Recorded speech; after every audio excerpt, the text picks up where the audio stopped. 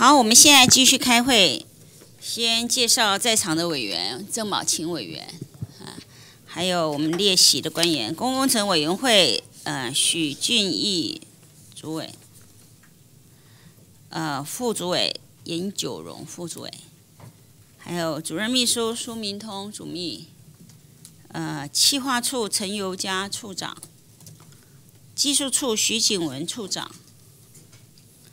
工程管理处何玉兴处长，采购申诉审议委员会黄淑娇执行秘书，中央采购稽核小组肖嘉欣执行秘书，公共技术鉴定委员会连正贤执行秘书，秘书处代理处长庄文富处长，法规委员会执行秘书张明珠。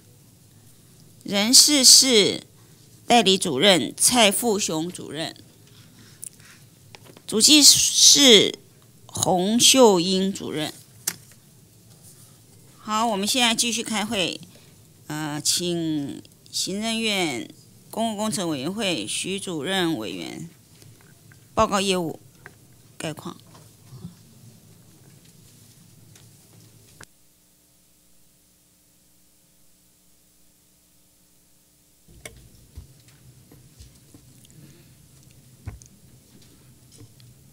主席、各位委员、各位女士、各位先生，呃，君毅今天有机会列席委员会，向主席及各位委员先进报告本会业务，并聆听指教，深感荣幸。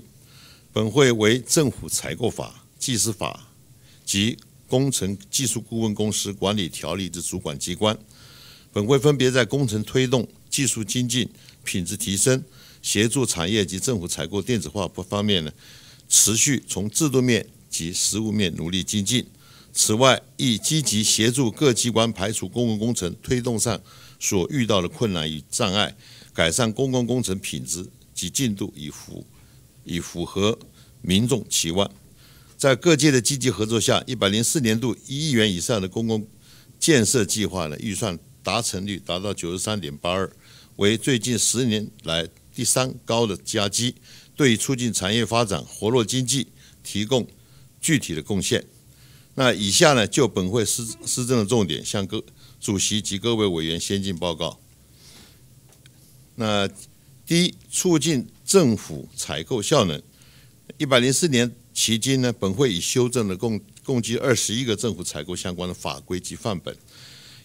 那第二个，同时，呃，鼓励采最有利标，评选优良厂商提供服务。其中一百零四年。资讯服务及技术服务使用最有利标的件数呢，及绝标的金额呢，比率皆超过了一百零三年度。另外，为避免厂商剥削劳工薪资，本会呃劳务采购契约范本呢，一定有劳工薪资、加班费、差旅费、请假等条款，以保障劳工的呃薪资权益。第四，为使采购整体成本最佳化呢。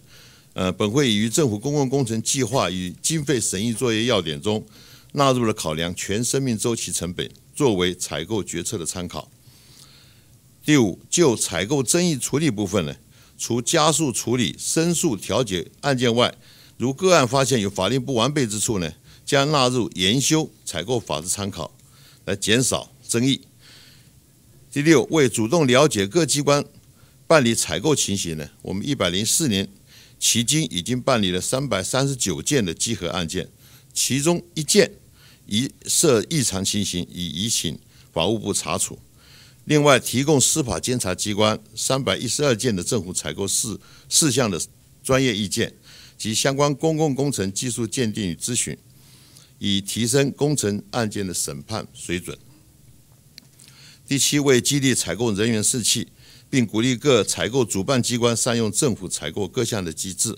呃，本会在一百零四年度办理首次的模范采购人员及采购案件的选拔。第二个第二项部分，政府采购电子化，那为持续强化政府电子采购网的系统功能呢，除新增了政府采购电子领标云端服务外呢。并推动了公共呃公开取得电子报价单，以简化采购作业流程。另外，第三点是采呃辅导工程技术顾问公司技技师，为促进产业创新及呃提升了产业竞争力，我们依照产创条例呢，审审认工程技术顾问公司是否呃得适用投资抵减的奖励。另外，我们举办了讲习会，扩大宣导工程伦理。那第四大点呢，是协助工业产业，呃，协助工程产业全球化。为了协助我们产业迈向国际，啊，本会提出了工程产业全球化推动方案这个政策白皮书，在一百零三年六月奉行政院核定，我们重要的推动措施与成果呢，呃，我们摘述如下：第一个，辅助我们业者海外拓点。本会为激励我们工程业业者开拓海外市场的意愿与能力呢，在去年三月二十五号发布了补助国内工程产业策略联盟赴海外拓点计划的作业要点。我们策略性的补助这个业者对到海外拓点，尤其是目标市场的初级成本。那一百零四年度呢，我们补助的成果包括了呃设立了十个海外据点，呃我们。在海外得标了六件的海外标案，呃，另外我们培训工程业者提升参与全球的标案能力呢，我们办理了一百零四年度工程产业全球化标案实务人员人才的培训一系列的课程。第五大点，我们是精进公公共工程计划的基本设计审议。为了配合我们国发会和主计总处呢办理公共建设计划的先期作业审议呢，我们提供工程经费方面的专业意见。一百零四年七月起，我们推动基本设计替选方案的评估，呃呃，实施期间呢，我们节省了工程建造经费新台币二十五点六亿元。那为避免公共工程计划的延宕啊，那以增以至于增经费的增加。本会在一百零四年五月，我们推动重大公共建设计划证照许可、行政作业精进实施要点，使可行的计划能够加速推动，不可行计划也可以启动退场机制。第六项是提供优质公共工程技术资料库。呃，本会透过建制施工纲要规范、呃工项的编码、价格资料库以及电脑经费估价系统。作为我们工程产业规划设计的辅助工具。另外，我们提升了营建生产力与国际的接轨呢，我们结合了产官学研各界呢，建构我们公共工程公公共工程运用建筑呃资讯建模这个技术呢，我们推这个推推动平台，我们择定工程示范，我们导入 BIM 的这个呃技术呢，来提升国内产业熟悉度。第七项是启动公共建设应用高龄社会，为应用我国六十五岁以上人口占总人口比例将在一百一十四年要达到二十 percent，好进入正式进入超高龄社会，所以我们建立了这个在先期审议阶段呢，我们增订了高龄影响评估检视表，来呃另外启动各部会呢编修相关的这个设计规范来应用。呃，超高龄社会的来临。第八项是健健全公共工程品质管理制度。本会已精进了施工查核制度的相关措施，同时要求呢全国各施工查核小组加强我们材料抽抽验，并针对异常状况的厂商等不同的主题呢办理工程施工品质查核。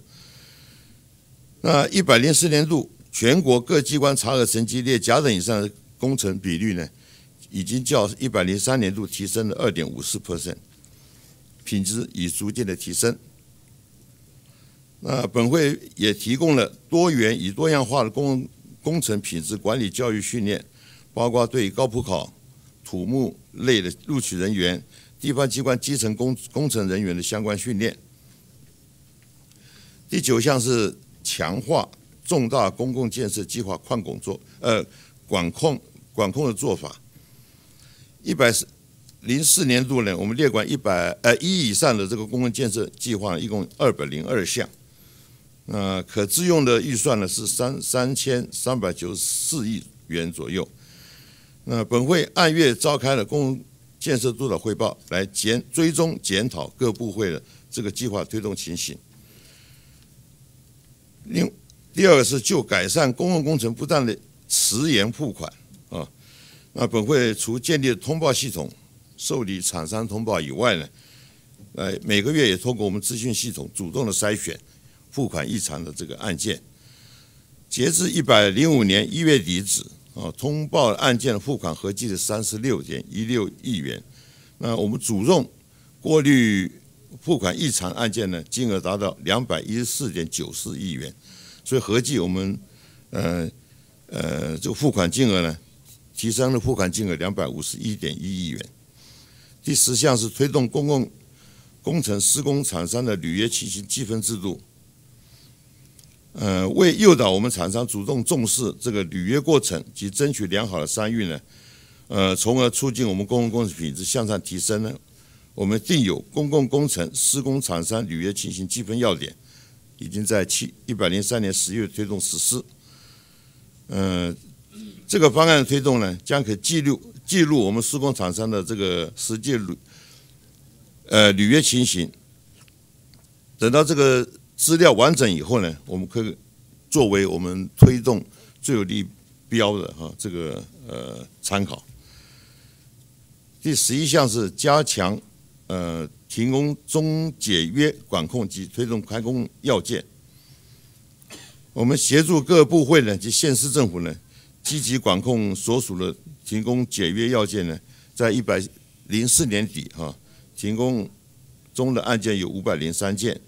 呃，较一百零三年同期六百六十五件呢，下降了二至二十四二十四点三六 percent。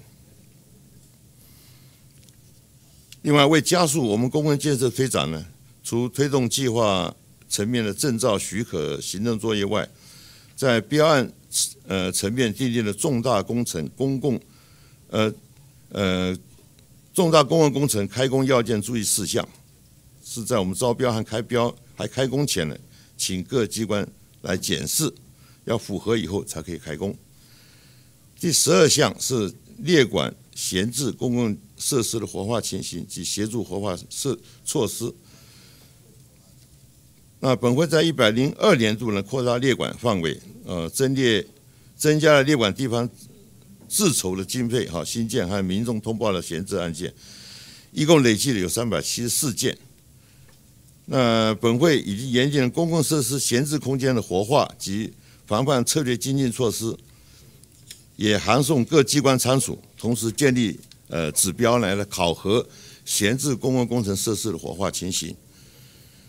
第十三个是提升全民督工系统的服务功能，我们结合了呃地理资讯系统，建构了我们公共工程资讯公开及全全民督工的这个通报平台。并加强推广使用呃全民督工 APP，啊，那目前采用 APP 通报的案件呢，已经达到全部案件的十七点五 percent。那这一个呃全民督工系统呢，我们做个呃满意度调查，在一百零四年度达到八十七点五 percent，那也比一百零三年度啊提高了十点八七 percent。那最后，呃公共工程的推动呢？与民众呃福祉息息相关，并与国家经济发展有密切的关系。因此，提升为了要提升我们工程效率与品质，呃，建立创新制度与文化呢，呃，营造公平公开的呃竞争环境，一直是工程会努力的目标。呃，未来我们工程会仍会秉持专业、谦卑、积极服务的这个态度呢。呃，积极做好工程产业界及政府相关部门的桥梁，结合产官学学界的力量，我们共同推动公共建设，提升国人对公共工程的信任，呃，创造优质的公共建设呢，为国家建设贡献心力，以不负国人期望。以上报告，敬请主席及各位委员先进的多多指教，谢谢。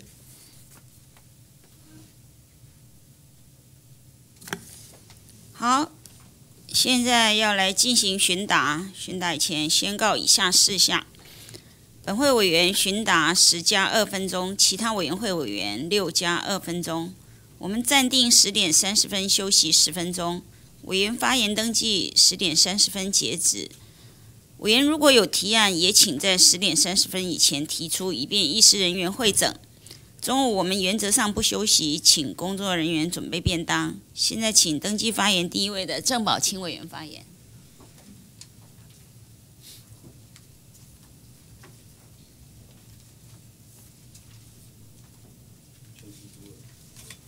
请徐主委。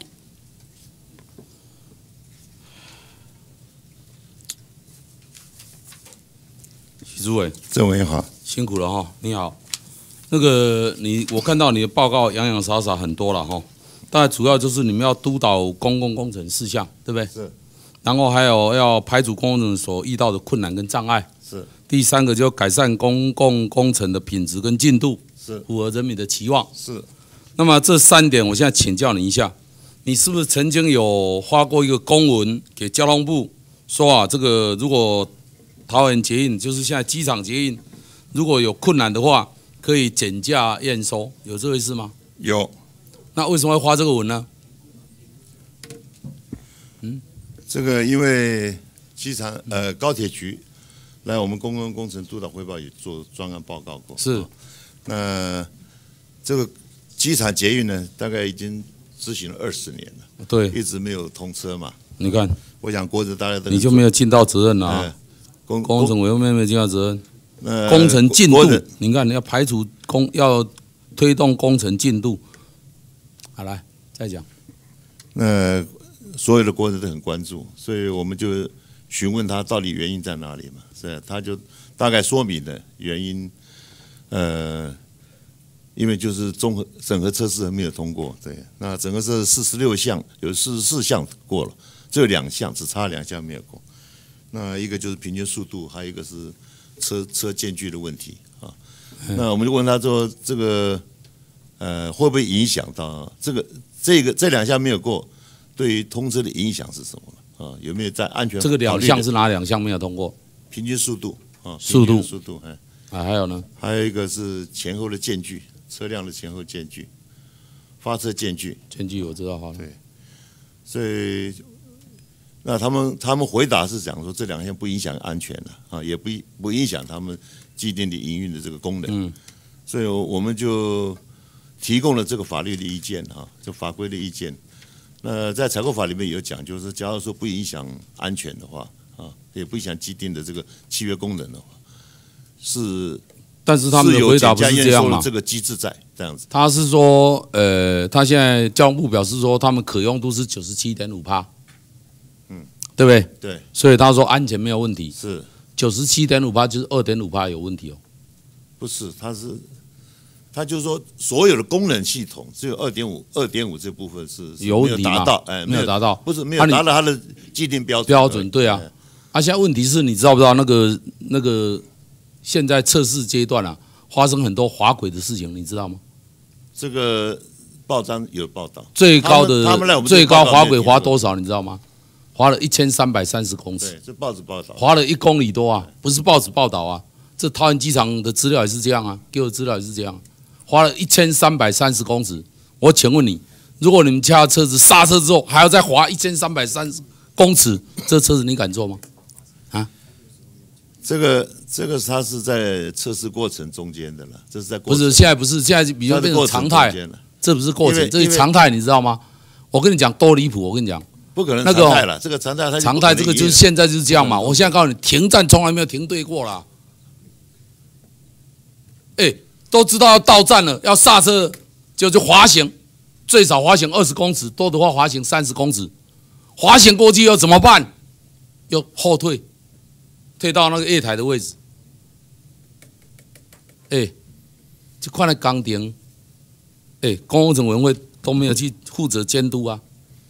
我我们是定期的来，他去他来这里报道。你现在花这么多，你就知道这二十年的工程都没有完成。我们有到工地去反查，但是我们不会监工。哎，我们你们要监督嘛，不是监工嘛？你们要监什么工？你要监督他们说为什么发生这些事情，要处理嘛。现在最严重的事情是什么？我们的工程烂得一塌糊涂，更严重什么？进度落后这么多，一个捷运盖二十年，这个我想放到全世界上是已经是第一级的笑话。工程委委员会不要负这个责任吗？我们是督导而已。你要督导，你这个工，我刚刚念的你自己的报告，你工程的品质进度，这个都在你都都在你的工作范围之内啊。工程查核。对啊，啊，现在他们发生这么多事情，工程都没有问题，都没有责任。我们查核的时候，他没有发生这些问题。哎，哎，你又你你起码拢钦差公共的呢？不是我，习主要对你这么尊重，你这样乱讲话，这样不行哦。什么叫做你查核都没有？意思说你查核都没有问题，你查不查核它就有问题了，是不是？我我们全国哈，全国这个工程案件标案有四万多件。对，我知道了。我们不可能每一件你就知道讲说这一件事情，全世界在关注，全台湾在关注，对不对？跳票六次啊！从从几年开始跳票？我们有关注他的问题。二零一零年就说完工，嗯，然后第二次跳票，二零一三年六月。然后二零一三年十月，二零一四年八月，二零一月十二月，二零一六年三月，通通跳票。每次跳票，我们的政府官员就来道歉。我看我们这个政府都快变变成道歉政府了。就是我们因为在错误之中不会求取经验嘛。洪仲秋事件，国防部一直讲谎话，现在继续讲谎话。这个就是我们现在政府的现状嘛。我现在请问你，如果你买一张机票去机场要去欧洲，花了二十万，结果我们的系统出了问题，到达不了机场，谁负这个责任？不是就钱的损失而已哦，谁去负这个负责这个赔偿的责任？营运单位，营运单位对嘛？啊，所以我们现在很离谱的是，他的这么多的问题，我们政府就要做什么？既然提出个奇奇怪怪的理由。说要减价验收，哎，天地啊，干部这个独立啦，哎，这个把百姓安全放在哪里啊？所以我特别跟永文报告，那是不影响安全的。你看，你又讲不影响安全，测试的过程里面从来没有没有准时工作，没有到站，同时就是在站前面停下来过。我再请问你一下，这个承包商啊，是这个？是这个丸红，对不对？日本日商丸红，就他标到之后，他又转包给别的公司，给叫英英斯法公司，英维啊英维斯公司，英维斯公司。那我请教你一下，这个转包可以吗？转包不行，我们给他停权的，呃，有依照采购那停权就是不痛不痒嘛。停权一年，对不对？是依照跟不痛不痒嘛。我工程三年都还没做完，停权一年有什么关系？更离谱的是，我们自己定处罚的上限，对不对？百分之十。嗯。哎，那好离谱的啦。我们就是绑手绑脚，把自己绑死，说对不起，你做的再烂，我就跟你划十八，其他没有关系。是不是政府就是这种态度？他他的合约这样定的啊？对嘛，就很离谱嘛！你都没有去督导嘛？为什么给他定十八？我我们没有。他赚了四十八，给你划十八，赚三十八。他赚了三十八，给你划十还赚二十八，他怕什么啊？所以你看，现在连我们的蔡总统啊，讲什么？他说采购法太过僵化，跟不上科技变迁。会毁掉整个产业的发展机会啊！这和法这个和采购法没关系。有了，怎么没有关系？他契约，他契约双方订定的。你现在你订定，你工程委员你在负责督导，你就没有去监督嘛？所以今天机场前发生这么问题，都是其来有之。嗯，从上面开始，从开始订约一直到所有都有问题。万宏公司啊，还不是机电的专家。结果让他去做主投标，他从来没有做过这个工程，怎么让他做主投标呢？他们是联合承揽的，联合承揽，你这至少你要规定主投标这一行的专业嘛，你也没有嘛。叫一个门外汉来，你主投标，你去负责整合，他怎么去整合啊？他们在投标之前有一个资格标嘛，他有资格审查是通过对啦，哎、是通过的。朱伟，我跟你讲哦，我们政府整个管理制度都出了问题，才会这样嘛。一条短短的捷运做二十年没有做成，这个可以列入全世界的这个我们有世叫他笑话呢啊！我们要叫他检讨，嗯，哎，不是检讨提，出检讨。我们每次在检讨过程中就能够不能够求取经验嘛？对对，我们就是每一件案件，像碰到这种情形，我们要他检讨，提出他的 啊提，出他的经验，嗯，我们将来经验传你看啊二零一零年跳票一次，哎，政府在讲下一次可是某间公司是不是要做很慎密的去考量？哎，在外面做生意啊，三十年不跳票，只要跳一张票就信用破产啊。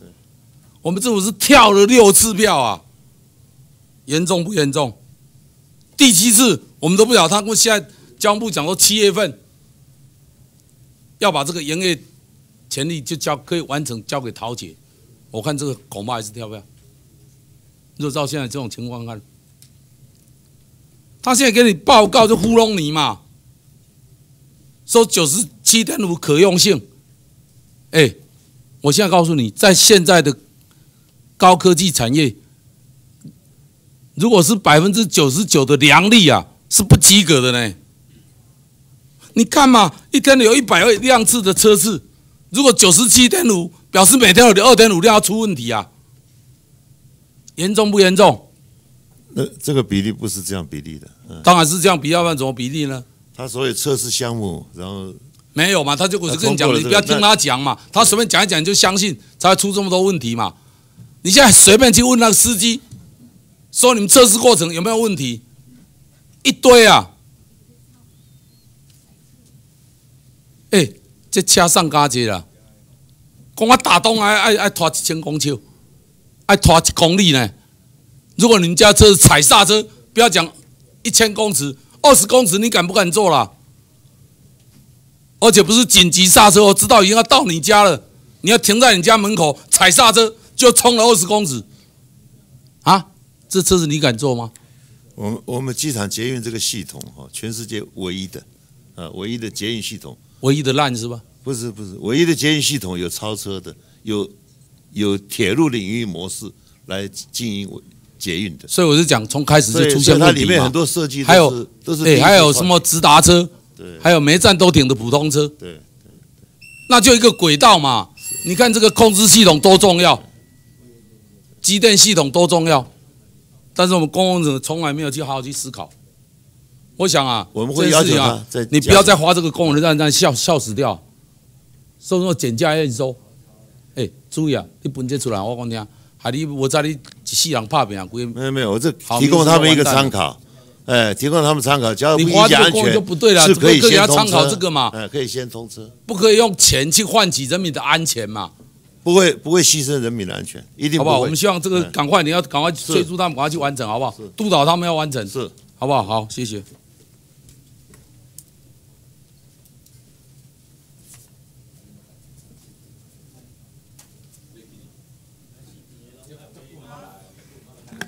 接下来我们请郑运鹏委员质询。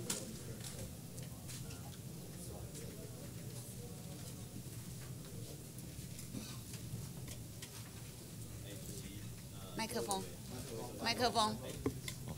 哎，主席、各位委员哈、各位首长，大家早安。那主席是不是请徐主委？请徐主委。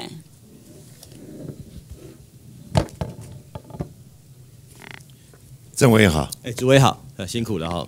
那今天很高兴我们看到我们公共工程委员会的业务报告这么厚一本了哈。那真的在交通部门质询里面的重点应该是交通部。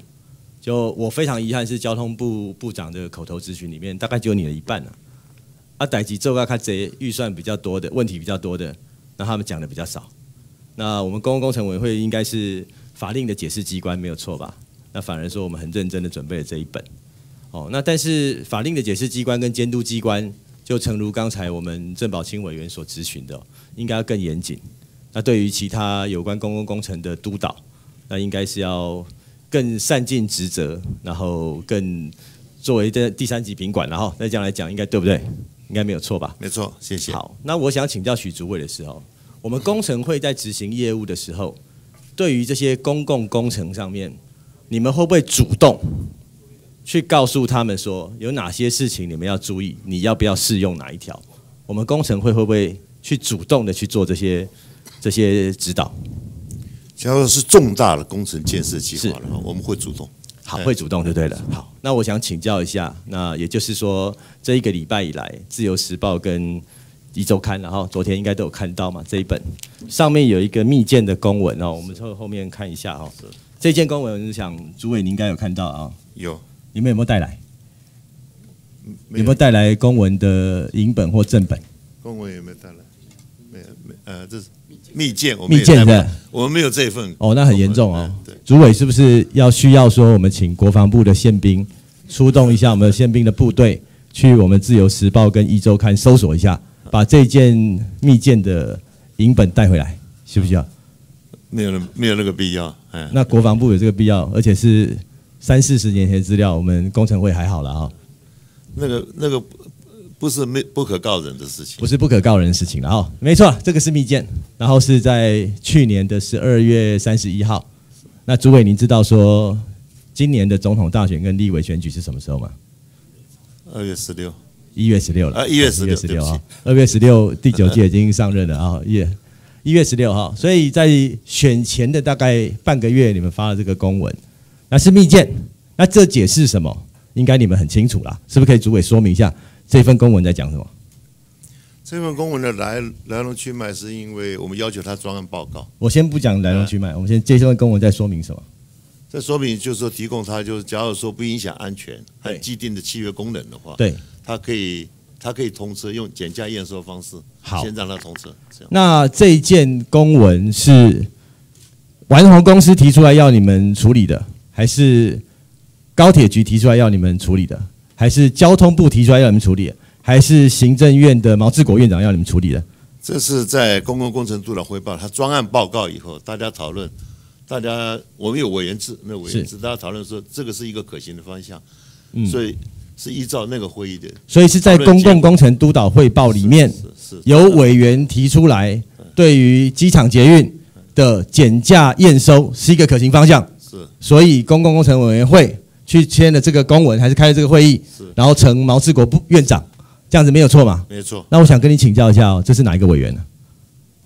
谁提出这样的想法？是大家讨论的，大家讨论的，大家讨论，对。会议记录可以公开吗？这个密件哦，那您说的那个汇报的会议记录可以公开吗？嗯，那个是那个是密件，因为他专案汇报对，是呃开完会了以后，我们只签签报行对，政专案汇报总是要有人提案嘛。你们那个汇报里面是不是高铁局也在？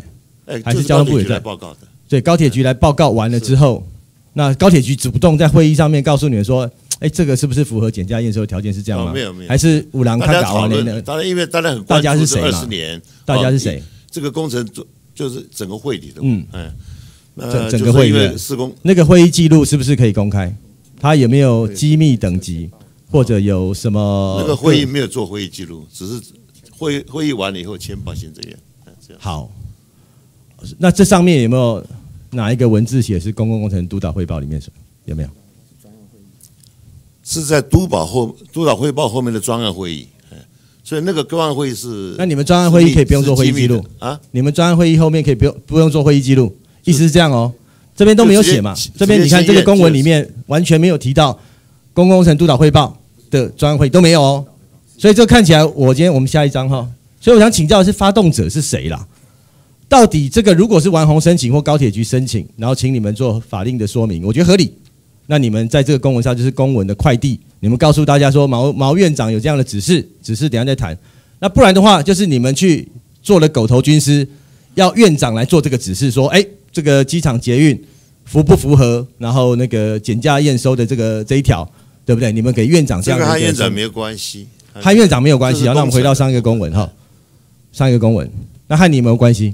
和我有关系。所以这个是您的执章嘛，对不对？哦，您的大印嘛，所以没有代行哈，先讲清楚。这上面的你看哈，最后第二项哈，已经有很清楚说，前项建议原则经本会签呈行政院，并奉院长哦，在十一百零四年十二月二十五日批示，请积极妥处。院长是这样写，对不对？院长写的哦，没有人带哦。院长用亲笔写，对不对？原请贵部督导高铁局妥处。所以跟院长没关系，为什么院长要签名？为什么院长要裁示？我这个为什么要送院长？还是你们就是关据专案汇报里面的决议，你就说呃就就这样，你们就说哎，这符合第第七十二条就好了。我说发这个文和院长没有关系，哎发这个文和院长，但是裁示和院长有关系。呃，院长有这个才是我们转达。好那您来好，那这个才是是依照公共工程委员会的建议哦，建议这是在第一项嘛，对不对？哦，根据采购法第七十二条第二项规定，验收结果与规定不符的时候，在不妨害安全及使用需求，亦无减少通常效用或契约预定效用，经机关检讨不必拆换或拆换确有困难者，得于必要时减价收售，没有错嘛？哈对，这是工程会您给的法条的建议。然后院长说，请积极妥处，这样没有错哈。我们这样权责就清楚喽。所以不是玩红，好、是高铁局在专案会议里面提出来之后，那个会议大家就搞哎说哎应该可以来适用这一条，所以你们签的这个公文，让院长批示了，请积极妥处，这样没有错吧？所以这个密件出来了哈。好，这样这个密件就不需要宪兵去查收回来哈，是确实有这件事情。好，那我就跟主委请教一下哈，跟主委请教一下，您既然写了这一条七十二条，就表示有人去评估过，高铁局去评估过，应该可以符合七十二条减价验收条件，对不对？没有，没那。他们专案汇报里面，他们报告什么？不是他专门汇报报告他的，他是说我们很困难，哎，对，我们很困难问题一堆怎么办？对对，对不对？他们是这样没有错嘛？哈，怎么办？那你就说怎么办？院长说，请积极妥处。这不是唯一的一条，当然是要他把工程做完是啊，你们你们就写这一条啊，这一条就这一条啊假如。说你你要通车的话，那不然还有哪几条？还是可以符合，哎，你你怎么解释院长的这个毛院长这个才是了？如果你告诉我一件事情，我跟你讲说，那就请积极妥处，一定是照着你的建议去做嘛，就是减价收售嘛。那不然这一句话怎么解释？这一句话是 yes 还是 no？您说明一下，这这院长的意思是什么？毛院长，他请积极妥处，在您的解释是可以减价收售，还是不行减价收售？这总是有一个态度吧？还是毛院长就是我供干他不供，有才是干他不才是？如果是这种这种是这种态度吗？应该是要您是法定解释机关哦，所以你必须要解释院长的院长的才是哦。院长如果才是不清，你应该请示院长说，院长你是被啊不还是还不会赛啦？什么叫请积极妥处？假如针对院长所批示的积极妥处，就要到综合评估，把这个也是考虑进考虑中的选项之一。所以 院长，你你写的这一条说哈，请综合评估。如果高铁局没有经过综合评估，为什么谁去跟他谁去挑了这一条出来呃，？报告委员了，我们签他不是评估说，哎，好像可以符合七十二条的这一项，对不？那他才来问你说可不可以啊？所以我刚才就请教您了，如果他这些公共工程的主管机关，他没有主动问你们，你们不会去主动说明，没有错嘛？你们态度是这样嘛？啊，为什么这件很特别？所以我问说，你们是不是院长的狗头军师，还是还是高铁局的狗头军师啊？因为您也是刚高铁局的副局长，对不对？你有这样的背景嘛？那那那这个是什么意思？为什么凭空生出这一条，请院长去裁示？我我们不会针对人，我针对事而已。对，啊然后针对这件事啊件，事情，他这个工程做了那么久，没有办没办法通车，到底困难在哪里？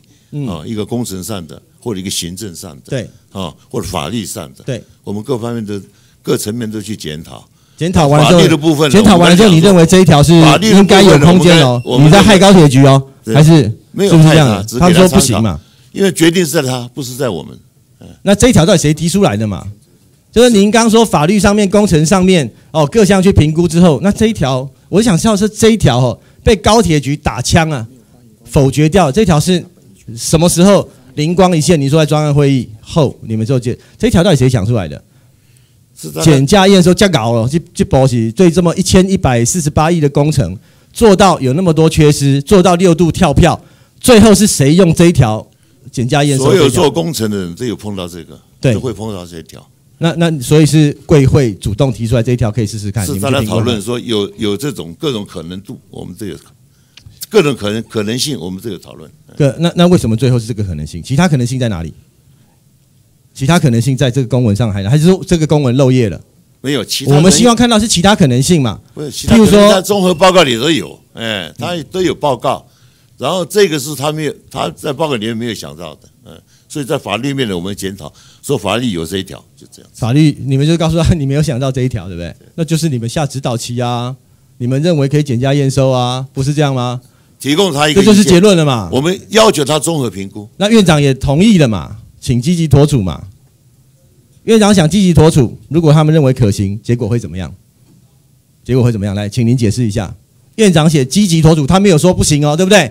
然后你说那就回去综合评估，如果他们综合评估完可行，那结果会怎么样？来，我请我请主委说明一下，结果会怎么样我？报告委员哈，嗯我们签给院长不是只签这一条，是整个评估那。那那公文是不是给大哎，给给给委员会看一下这？公会机密是在在院里头哦，签签给院长的。那那最后为什么出这一条？就是院长对这一条特别满意，就是这条你可以好好啊处理，就这样嘛。那那你的解释，其实我们是跟那不公文公文怎么会有？如果一个公文出来，大家都可以随便解释，那就不是公文啊这啊。一条是他你们要写的就是最明确这一条是他结论嘛。没有的，法律面的这个意见我们提供他。那我想请教嘛，他如果今天高铁局最后他的积被裁是积极妥处之后，他评估是可行，是不是根据这个公文就可以减价收售？是是哦，是可以减价收售。所以你们这一份公文，我告诉你，你们就是造成了为什么大家会认为说，今天你们在五二零交接之前，要让机场捷运减价收售、降格以求的源头。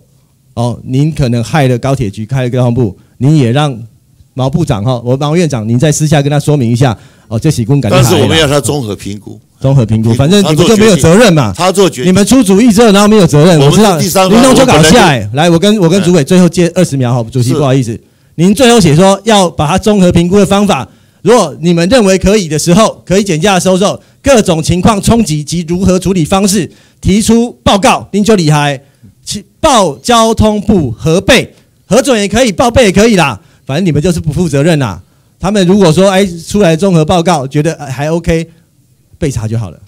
根本不用核准，好不好？这就是你的意思。这份公文非常厉害，我们也看出公共工程委员会你们有没有存在的必要。就从这个一百一千一百四十八亿的大工程里面，可以看出来我们工程委员会你们是用什么样的态度在监督、在督导所有的公共工程。好，谢谢。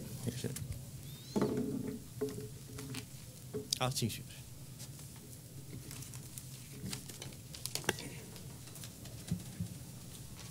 好，我们接下来请李坤泽委员质询。好，呃，谢谢主席，主席请一下许主委。请许主委。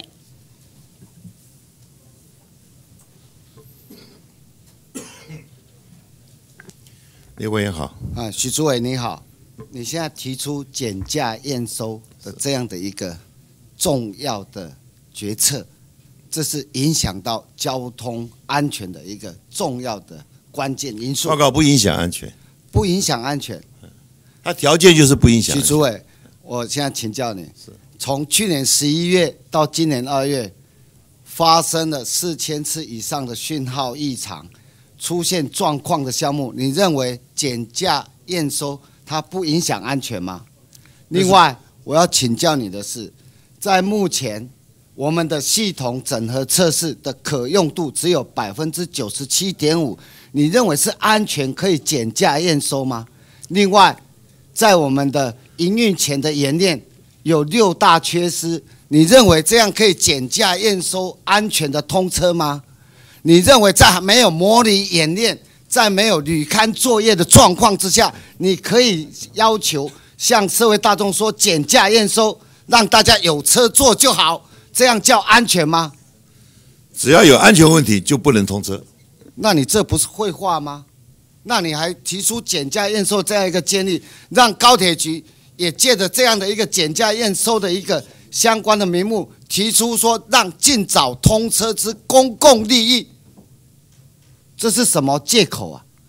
主委，我请教你，现在问题状况非常多，现在它的整个机电设施、机电设施就是桃园机场捷运的一个核心的机电设施，哎，讯号异常，列车变成幽灵列车，然后整个列车还接收不到讯号，发生这样的一个车打滑、刹车过前过后，你认为这样可以减价验收吗？你这样对得起公共工程委员会主委这个位置吗？呃报告委员，假如是最后的成品是这样的话，当然是不合格的，好、当然不能接受。那你没看到成品，你就在说，哎，可以减价验收？你刚刚委员所讲的，那可能是测试过程中间，还不到成最后成果的检那个检测。嗯最后成果还没出来，你就提出什么叫什么减价验收这样的一个建议？不是不是，那是提供他一个选项而已。哎，就说高铁上法规有这一，你们有资格提供这样的一个建议跟选项吗？是在讨在还没有安全的结果之前，应该是整个测试的结果到最后阶段已经出来了。你们公共工程委员会，你们本来就是基于你们的职责，就是统筹相关的规划、审议、协调、督导，这就是你们的工作啊。你们有做什么？报告委员要交最后的结果是这样，我们不会提供建议的。哎，那提供建议的话，就我们在指导他。最后结果就还没有出来嘛。对，就是在说问题的在还没有结果出来之前，我们提提供他所有所有东西，他的工具，他可以采用的工具，这样子。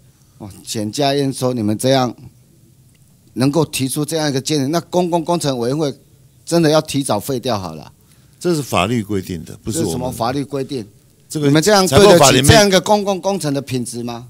采购法里面七十二条是这样规定的。采购法，我现在要另外请教你的是一零一条款。昨天张善政，我们的行政院院长到金门去，他看到金门大桥啊，他表示金门大桥的进度落后十二点四四，他要求啊，交通部跟相关部门一定要谨慎的处理啊，不要把烂摊子留给新政府。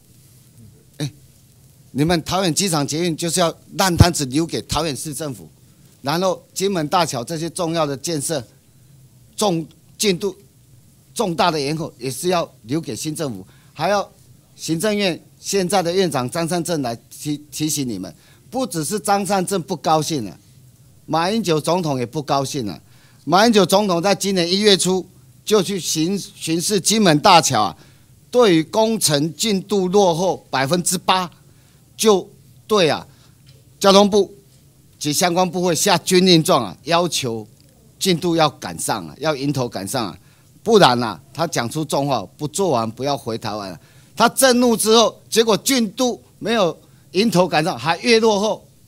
那公共工程委员会蛮厉害的啊，你也让院长生气，也让总统生气，然后你现在要减价验收，又让整个国内的旅客生气，对安全都没有保障。虽然交通部跟厂商他是要负最大的责任，不过公共工程委员会呢？报告委员啊，这个工程施工不是公共工程委委员会的职责，我们只是协助院长来督导这件工程，把他关注这件工程，所以我说你然后们协助他101条款就解决困难的问题。一零一条款犹如虚设嘛。嗯，那承包的厂商他一再的出状况，他还能够一再的标的国内的重大公共工程，这不是一零一条款的问题吗？这不是一零一条款的漏洞吗？这不是一零一条款能够让这些不良记录的厂商予取予求吗？一零一条款，它要呈报停权哈，要那个采购机关要提报出来，这样子。所以你们不提报，的问题就非常多嘛。。对，你们对公共工程的品质、进度，还有植栽的安全，都没有办法做好，然后在现在却能够提出减价验收这样的一个，帮现在二十年来桃园机场捷运的重大烂摊子去做一个这样的一个莫名其妙的收尾。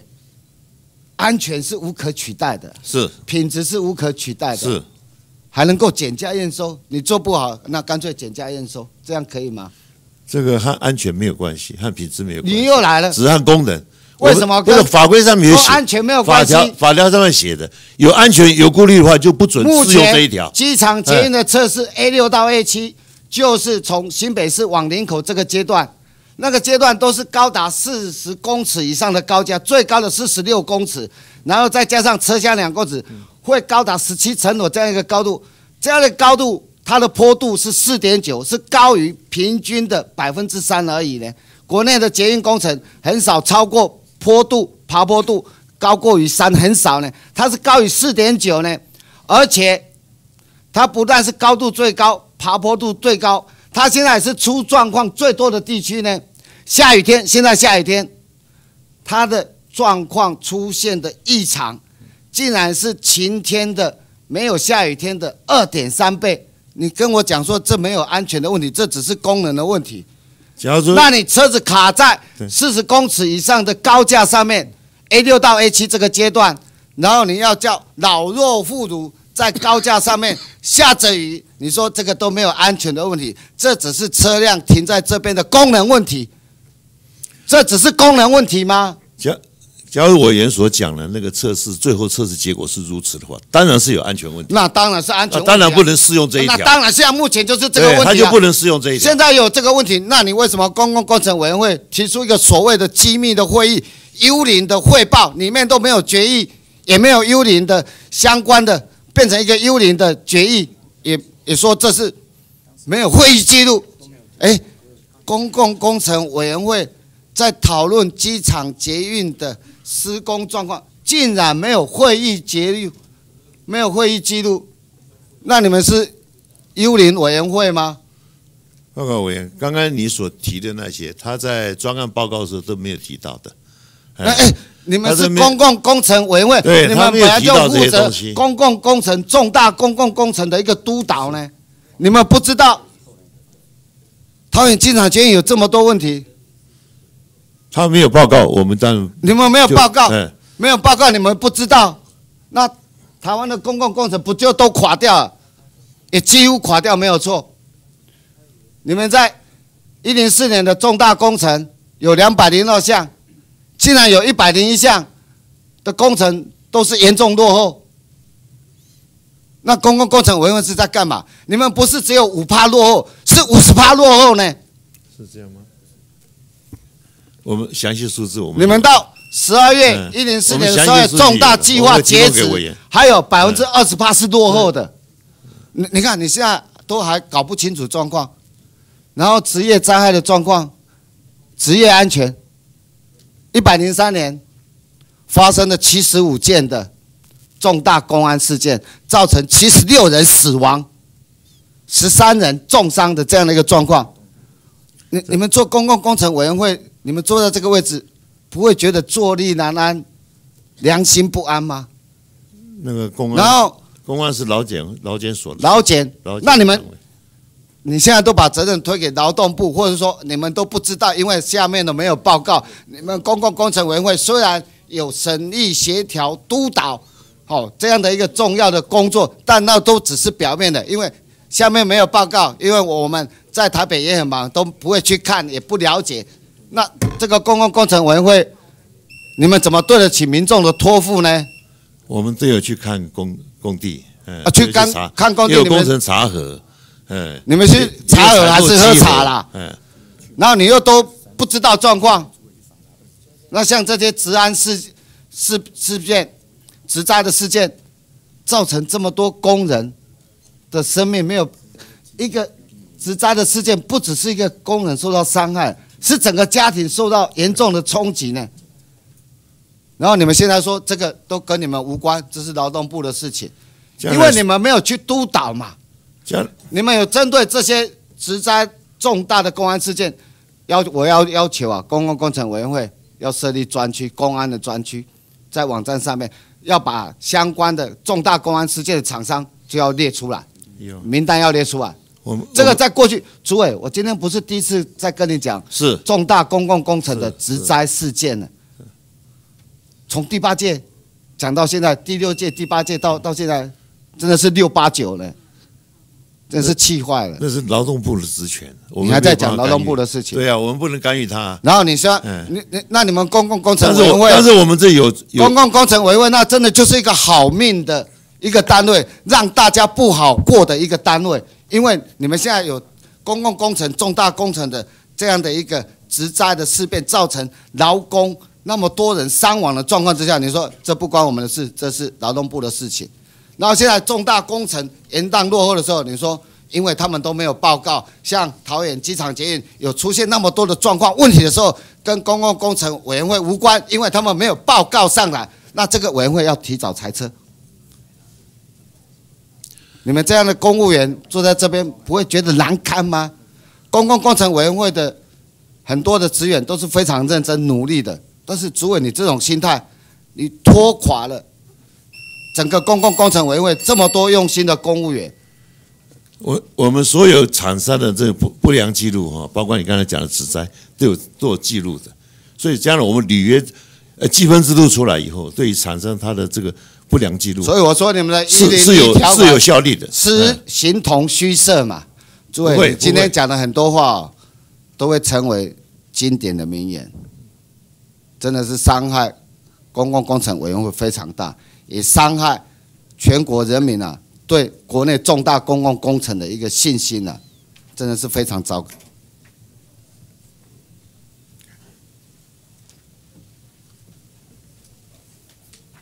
好，我们接下来请简东明委员质询。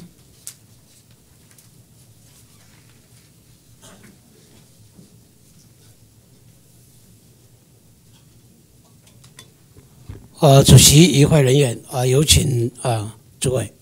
请徐诸位。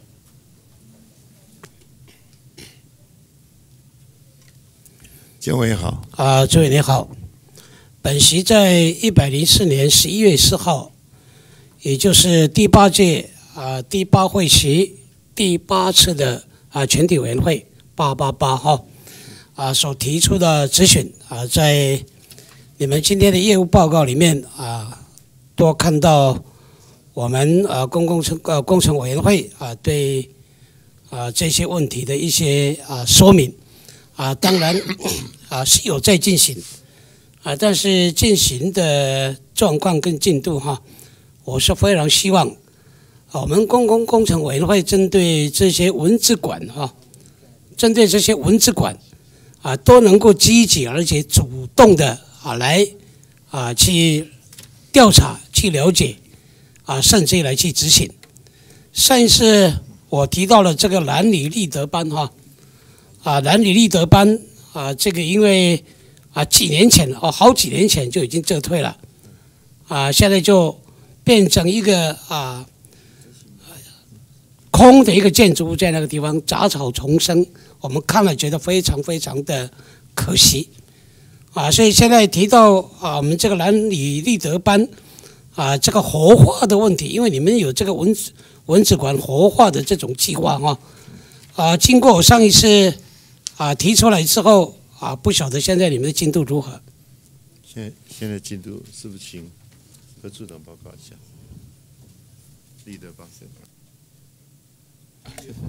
跟委员报告，那个蓝屿立德班哦，他们其实呃蓝屿乡公所、哦，他们有也召开会议。那其实我们工程会哦，跟原民会也都有去呃，在去年十二月我们有去现地到到蓝屿去哦开会，然后他们相关的活化的一些进度。他们我们有要求他们呃提报那个活化的里程碑，所以他这个立德班的部分，他现在呃的一个活化的一个呃他预估的骑程哈，都会呃我们都会掌我们在我们都在掌控当中。你们掌控的情形如何？他们会有一个部落会议，他们其实不，三月你们份会召开部落会议。你们是什么时候开始内管？啊，你们都有内管嘛？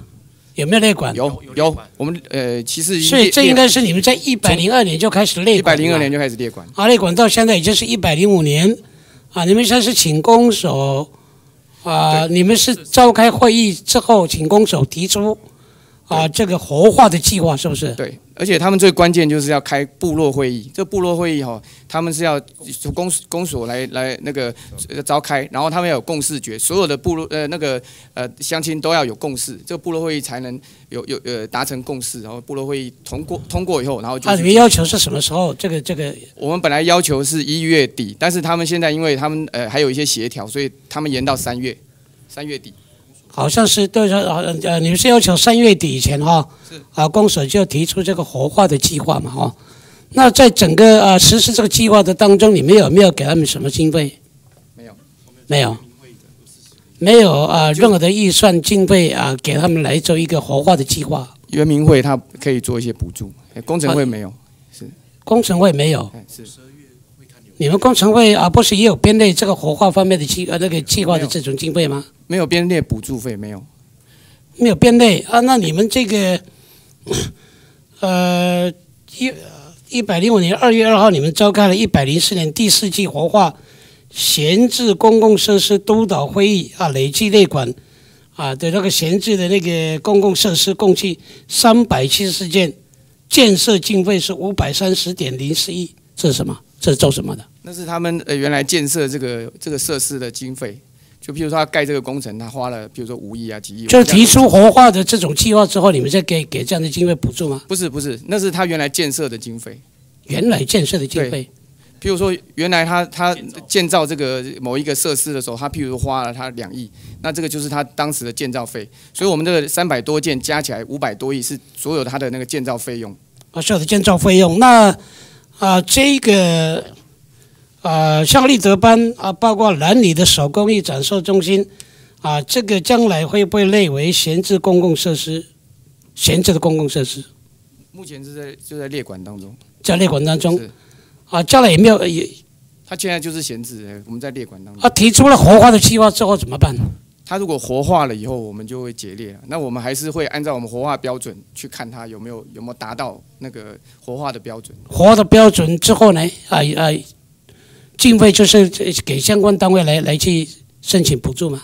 就是他们要办理活化的经费哦，除了他们自筹以外，也可以跟原民会申请，啊，除了自自筹啊，然后啊或者是跟原民会申请。是是是，哦啊，这个活化的计划啊，你们只是站在啊这个督导督导的啊那个而已啊，其他没有什么经费的方面的益助。办委员活化这个这这个工作啊，不是我们工程会的这个法定的职权，因为呃这个国有财产的活化是管了财政部的，那但是因为要跟我们公共工程要做一个连接，所以他才是为公共公共的公共的这个工程的建设哈、做好了以后没有使用或者没达到使用目标的话，要我们来来把它列管，所以我们才兼办了这个工作。那我们做了工作以后呢，成效很好，所以变得地方的这这些哈、也要纳进来，所以我们变得上面特交给我们特别的任务，我们就做这个这个列管而已。那我们现在努力去把它原来投资做了以后，变得变得这个文字馆的哈，让它活化起来，再发挥它的效用。所以刚才讲五百多亿，那是原来投资五百多亿，让它再发挥功能的，呃，这个这个成绩这样子。好，那再请教一下那个南泥啊，这个手工艺展售中心啊，目前啊你们内管的进度如何？目前呃，他是在做这个耐震耐震呃结构耐震评估当中。因为那当时他盖的时候是没有建造嘛，哈，是什么都没有。是啊，现在已经盖了啊一段时间之后都没有办法使用。是那现在你们是要求啊结构安全方面的鉴定，是不是？是是，等鉴定完以后才能去办那个申请执照补啊照。，鉴定出来了没有？还没？啊，你们应该去了解，你们是现在他们是在元月、一月好像就要完成嘛？是。对，一月就有但是他们完成嘛。对他们鉴定还没有完成，啊，现在三三月了，已经超过你们的期限了，我们会去催促他们。所以你们要追追催，你们要去了解啊，所以你们的积极度啊，我就始终觉得说应该是要加强。啊，像恒春机场的闲置的问题啊，闲置了这么久啊，到现在都没有飞机在飞啊，结果你们在一百零四年十月三十三十号，一百去年十月份你们才有内管啊，才内管。啊，这么长的时间你们啊，现在才啊啊去年啊才刚刚啊才进入内管的这种进度。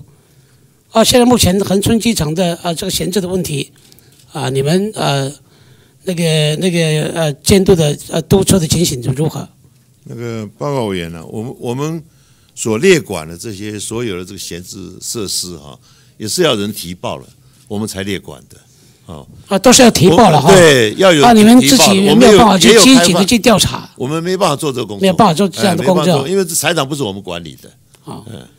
所以啊，你们啊几乎这些内管的，你们几乎都是没有自己发现的，都是几乎都是提报的。哎，对，是。好，不过报章报章登的时候，我们也会主动去请那个主管机关查查报这样子。对，还是有啊，这样的话还是有啊。报纸有媒体有披露的，我们会去函给主管他的主管机关查报。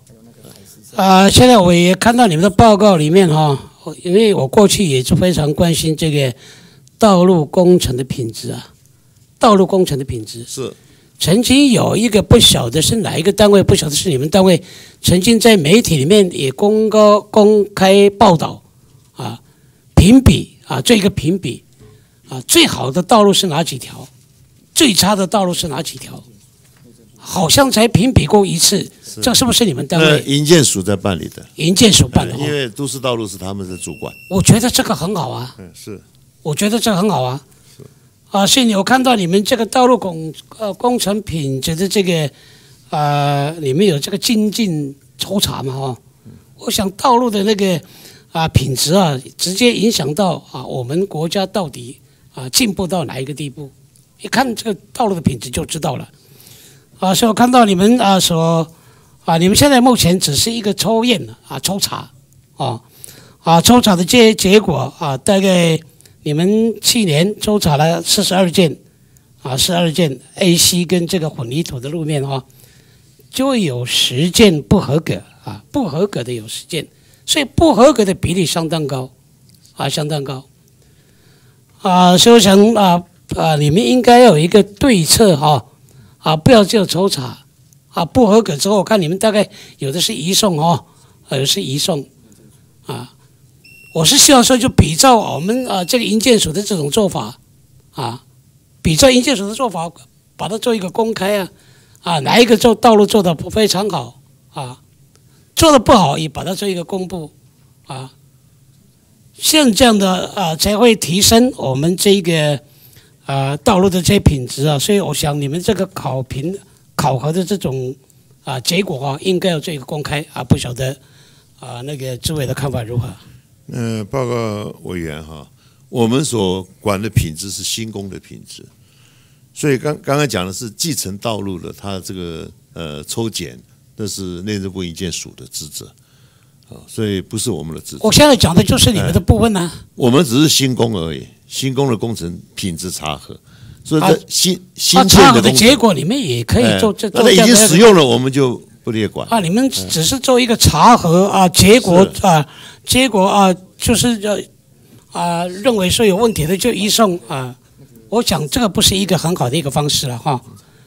啊，另外，我想你们啊报告里面也有一项提升啊全民督工系统是服务的功能，是我觉得这个也是很好的啊。但是我想啊，那、看到你们的报告里面的成效应该不是很啊，不是一个很好的一个叫叫结果了哈啊，比方你们的通报系统啦啊，你们的处理机制啦啊，在一百零四年你们就收到一千四百七十六件啊，这个全民啊都工就等于是啊。人民把它提报给你们的这个是这个这个问题，总共一千四百七十六件，啊，这个想应该是啊算蛮多的了哈，啊，但是你们这个督工啊，全民督工整个制度哈，啊，我看处理的方式哦，把整个过程哦啊，并不是啊很积极啊，很积极啊，你们看法如何？报告委员，我们其实是很积极，我们还改善了我们的通报系统，用 A P P 就可以检举了，哦，可以提报。所以现在这个 A P P 慢慢慢使用的越来越频繁，就将都知来提报很道了吗啊，容很方便。全民都知道你们有这样的系统吗？有有有，他们有。啊哎我想这个还定期还开会，定期宣导。啊，了解的人可能不多，你们还是要加强。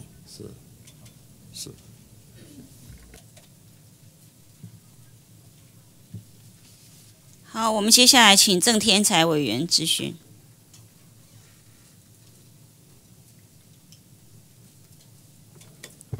呃，主席，请啊各位委员，请我们诸位。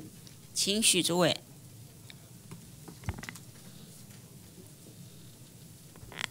郑委员好，啊，许诸位好。刚刚前面很多同仁呢、我相信也不是今天才谈哈。桃园机场捷运，这个从一九九六年啊开始由民间新建的一个模式，那后来在二零零二年，呃，捷就有要改变方式，啊由政府编列公务预算啊来来发包哈。然后二零零三年啊发包，然后也开始开工啊，也做了这个开工典礼，都做了。从二零零三啊，就以现在的那个模式，二零零三到现在也是三年了，这么长的时间，然后还是没有办法完成。如果你以你的专业哈，以你的专业，你觉得你就撇开你是政府机关，反正这个把这个你以你的专业来看，你觉得如果要检讨的话，有哪些要检讨的部分？以我个人的经验哈，跟委员报告一下，将来工程要做的顺利哈，是一定要不是我们针对这个了，对对，我说一般来讲，工程要顺利的话，是大家的同心合力了啊。那这是第一点，第二点最重要要素是厂商要很能力很强啊，是找到一个优良的厂商。那这个案子，这个工程，这两点都不具备啊，这我跟委员报告。所以它会造成很多的波折，同心合力是指政府机关，包括政府机关，包括民间，包括老百姓。政府机关没有同心合力的部分是在哪边？就是说，整个行政程序大家没有来来配合，所以它才会延宕。所以很多你看看，很多都是行政程序造成的延宕。那延宕的话，就造成合约的纠纷，所以甲方乙方就会存在着很多争议。所以当然不会不会感情和睦的走下去。好，同心合力啊，包括政府机关之间跟这个厂商。对，你第二个谈的是厂商的能力嘛，对不对？好，厂商的能力，当然我们有政府采购法的这个机制，所以这个政府采购法的这个机制是出了问题，呃，因为你厂商报告文也不是这样。因为不是只有不不是不是只有独家嘛？请问一下，呃二零零三年招标的时候只有一家吗？不是嘛？不是，有很多家啊。是啊，很多家嘛报。告委员哈，这和政府采购法没有关系。政府采购法是一个工具性的法律，它很多的工具在法律做规定。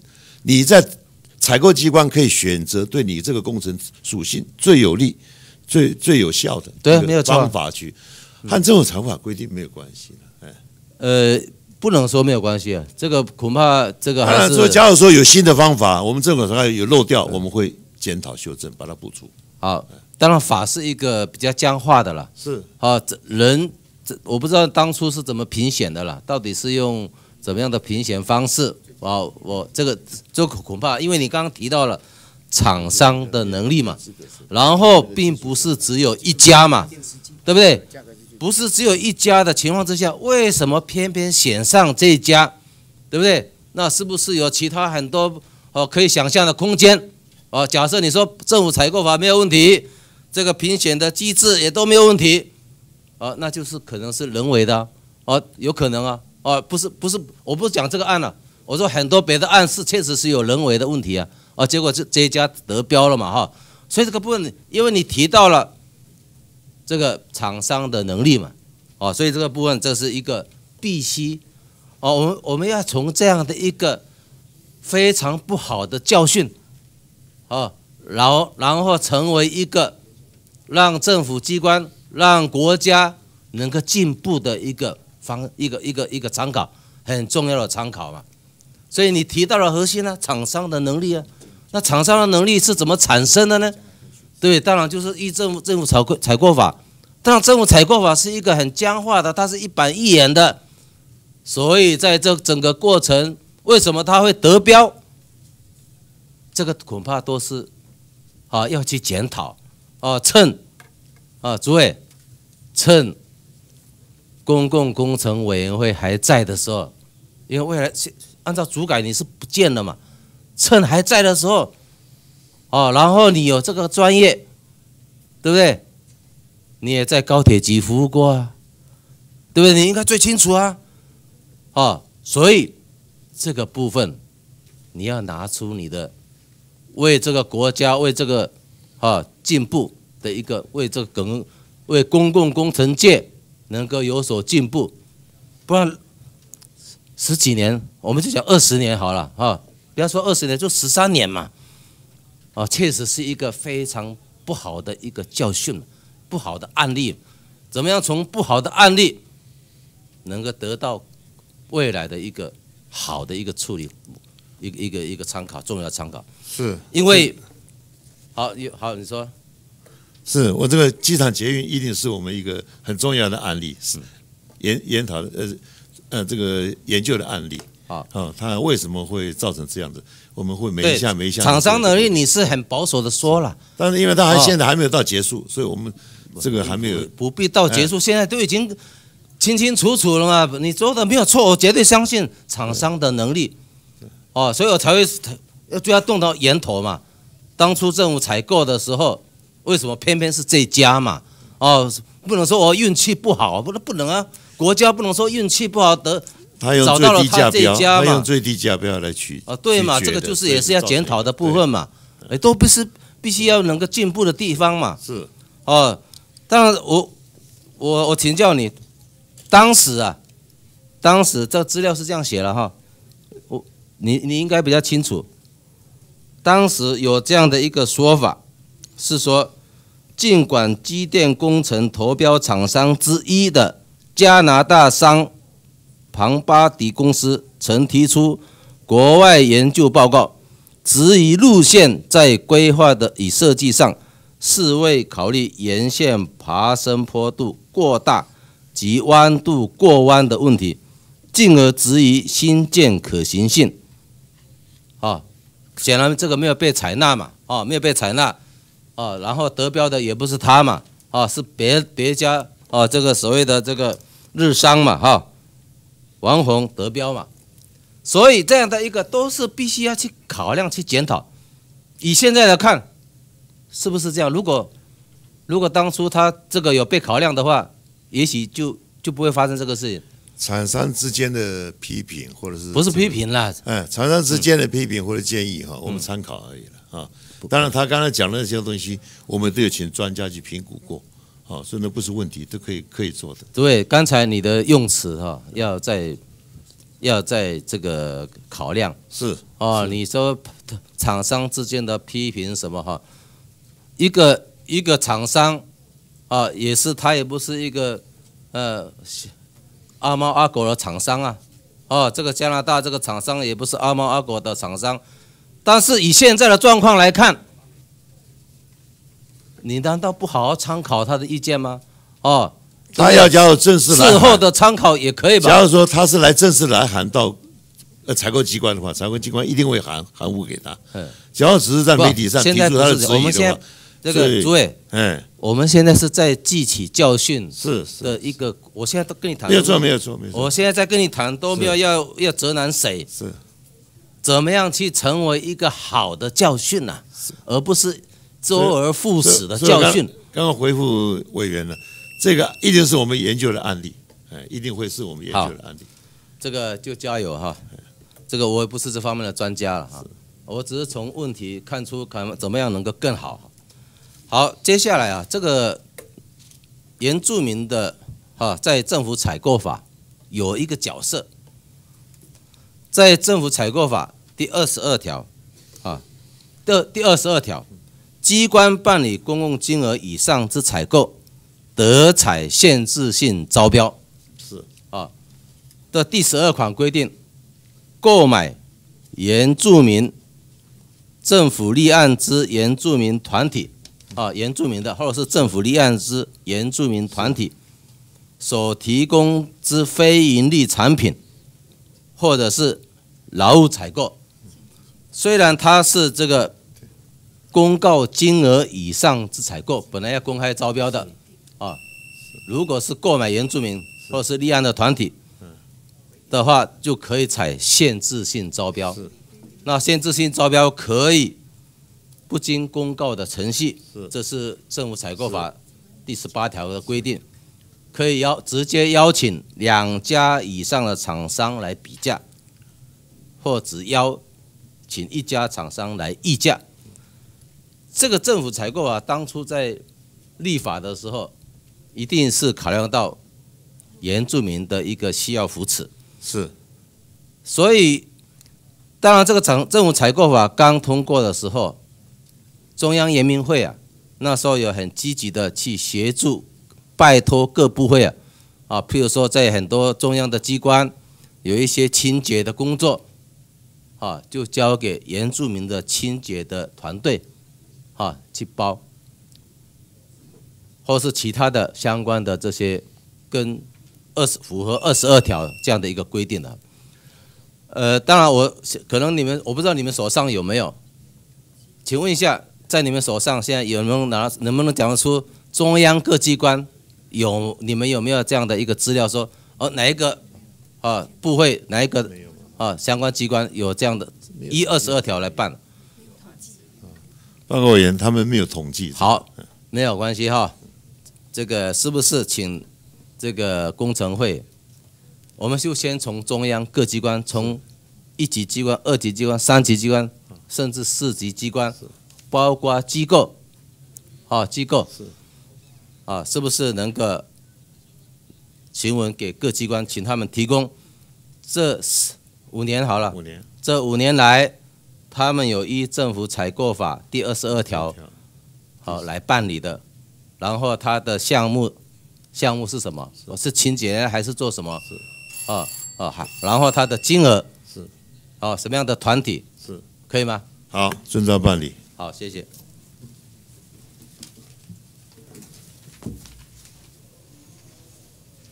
好，我们接下来请林俊宪委员发言。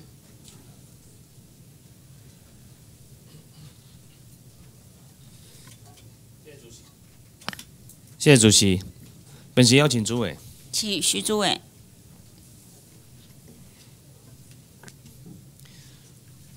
林委员好，主委好。主委，今天大家都在关心机场捷运，这个真的是台湾的国家耻辱啊！全世界啊，如果说到达你国家大门没有捷运可以坐，那除了少数的落后国家之外啊，我想不到啊，我们台湾呐、一个机场捷运盖了二十年，大部分呐、没有捷运都是因为没有钱呢、因为捷运这种东西又不算什么，全世界到处都在盖，技术上没有什么没有什么大不了的，只有台湾花了一千多亿啊，没有办法通车，国家的耻辱、那现在我们已经延宕了六次，那更惨的是，到底什么时候可以通车还不晓得。那今天媒体报道，原来之前提出要减价验收，也就是行政院呐、硬要机场捷运现况通车，是来自毛治国院长的决定，是不是这样子？呃，我稍微更正一下，这和院长没关系啊，这是大家讨论出来。要不然跟谁有关系？呃，这是要不然谁决定的？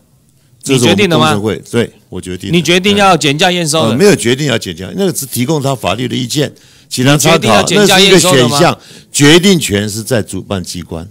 那主办机关好，对，那主办机关是谁？主办机关是采购机关是高铁局，啊，高铁局哎决定交通要减价验收要报三级机关是交通部。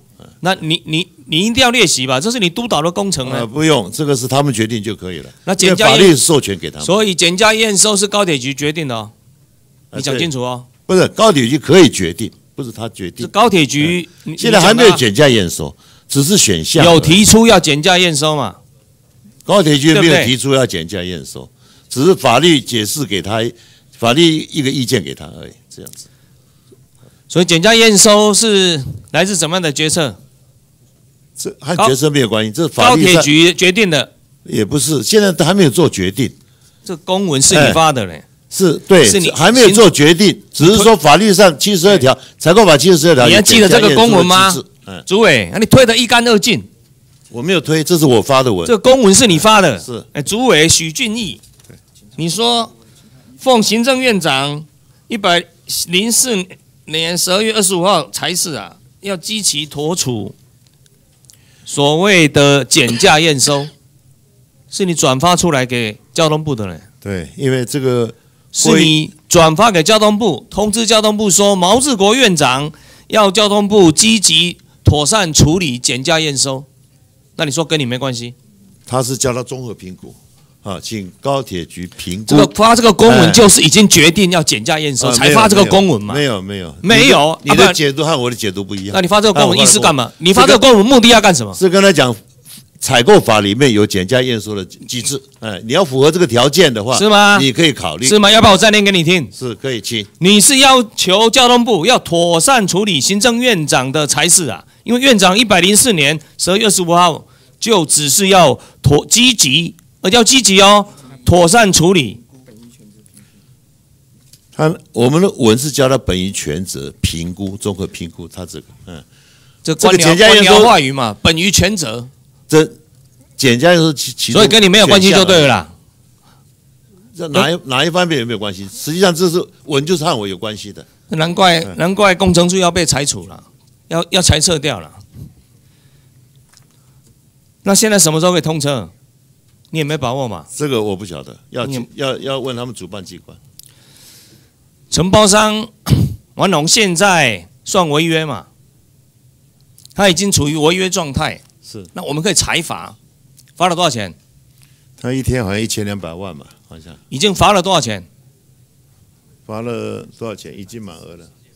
他合约里面定百分之十，嗯，所以他两百他是有上限的啦十亿的话，那他的处罚最多就是百分之十啊，二十五亿这样。罚了二十五亿啦。也就是说，对王宏来讲，他无所谓啦，他再怎么样，再再继续摆烂，反正也是只罚二十五亿啦。那你说王宏会积极处理吗？对于承包商王宏来讲，他已经被我们裁罚到最上限二十五亿。只要是他违约的话，哈，他现不只是这个这个呃延迟，呃，就是说我们这个这个履约履约还有履约保证的问题，所以啊，哦还有损失。如果减价验收啊，嗯，就是帮王宏解套了。我的看法是这样子啦，所谓提出减价验收啦，不是你们交通部什么高铁局啦、什么局，或者是你工程工程处啦，你们可以选择的项目之一啦。提出减价验收啦，根本是厂商要的啦，那你你这个解读很危险，有什么危险？呃，你把它连接对于厂商最好的，连接起来是只要是减价验收，王宏拍拍屁股就走人啦。没有，所以要因为叫他综这个工程对他来讲没有什么利润了，他已经处罚罚了二十五亿了，在卡卡住在这里了。如果要让他能够完达成我们的要求，能通车的话，王龙还要投入很多钱。那我干脆让你减价，你验收让我走啊，你帮他解套呢。如果减减价验收的话，最高兴的啊就是承包厂商了。他有另外有合约责任，什么责任？你验收以后，他不不是就是验收以就是验收以后的责任了。那么政府没有花花完的预算，因为你减价嘛，你还要再另外招标呢，对不对？你还要再另外招新的厂商进来，既拖时间。那新的厂商如何跟现在日商留下来的烂摊子怎么去整合？我都很怀疑呢。居然会敢提出减价验收，那是法法法规上面有这个，是我们反对啊。我们采购法有这个，那个是非不得已啦。采购法的机制里面，那是非不得已减价验收，它的前提就是厂商没有办法依契约完完工。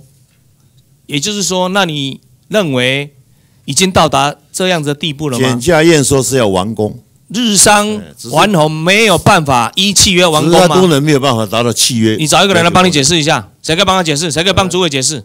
来减价验收说明一下减价验收条文，条文。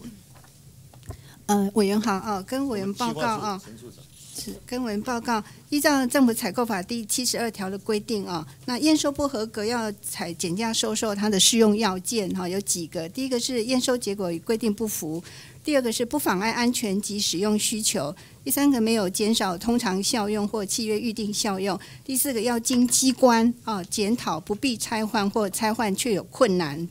那另外呢，如果是五千万元以上的工程采购，也需要经他的上好，你讲到级机关重点了核准。好，你讲到重点了。来，诸位，那你目前有这么严重吗？目前的日商顽童没有办法来收拾了吗？你你们必须要让他减价验收，就让他退场了。减价那么好要主办机关评估啊，他做决定，不是我们在做决定。为什么他没有办法完工？顽童为什么要转包？因为他根本不会做这种东西嘛。顽童他是个商社，他只做贸易买卖，他怎么会做号志系统？所以他当然必须要转包。所以这个工程啊，非常的复杂啦。到今天造成目前这种状况啊，这种惨状啊，诸位，如果你让你形容为什么机场捷运到现在没有办法完工通车，你认为最主要的原因是什么？你督导的工程，三个理由给你讲，三个你的看法。我刚刚已经讲过了哈，他第一个就是工程延宕啊，造成了甲乙废话当然是延宕啊，那怎么为什么会延宕？就有很多行政行政的这个这个作业哈，造成他延宕，啊，这是第一个，所以造成甲乙双方的合作合作关系是有有间隙的。第二个，是主承包商的这个能力，刚刚我也讲了是不足，啊是不足的。啊那这要勉强要讲第三个啊，第第三个的话啊，那就是说，呃，主办机关没有积极作为。好，反正啊，你们工程会也要裁撤了啦。这些事情以后啊，也找不到人可以来追究责任了。那本期在这工程和工程会没有关系。本期在这本期在这里要要做一个提案了，主席，主席，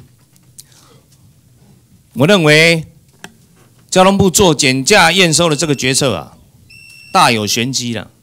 减价验收，形同让现有没有办法完工的承包厂商找到台阶啊，可以退场。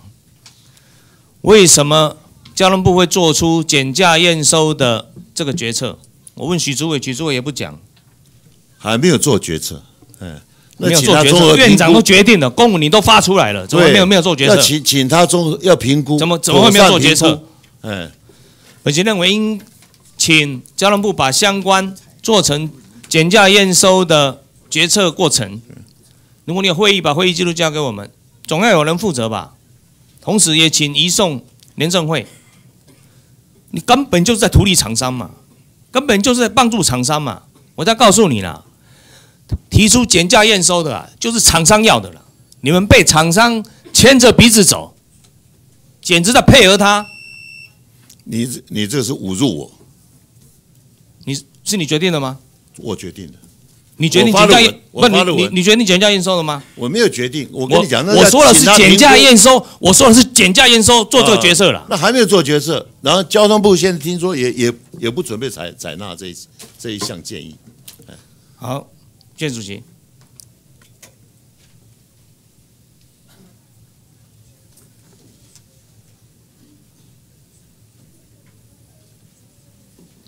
接下来我们请肖美琴委员咨询。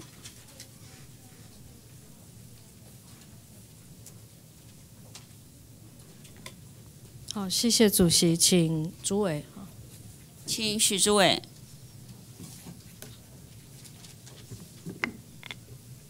夏委员好，主委哦，在呃台南大地震之后啊，我们国人又再一次的重启对整个居住安全哦，还有公共啊、建物品质以及安全的一个关注哦。那么呃，在呃整个公共设施哦做整个检验之后，事实上也发现，包括一些学校在内哦，一些建物的安全问题哦，都需要重新再做补强哦。那么呃。这些问题哦，希望能够从根本哦，在呃建造发包的时候，我们就能够投入更高度的安全系数哦。当然，民间跟公共建筑，我们可以用啊、不一样的机制来处理，但是都一样是一个要以呃居住安全、以生活安全为最高指标哦来做努力。那么在呃我们的公共工程里面，尤其是建材的运用上面，哦，我们最近也看到相关的新闻哦。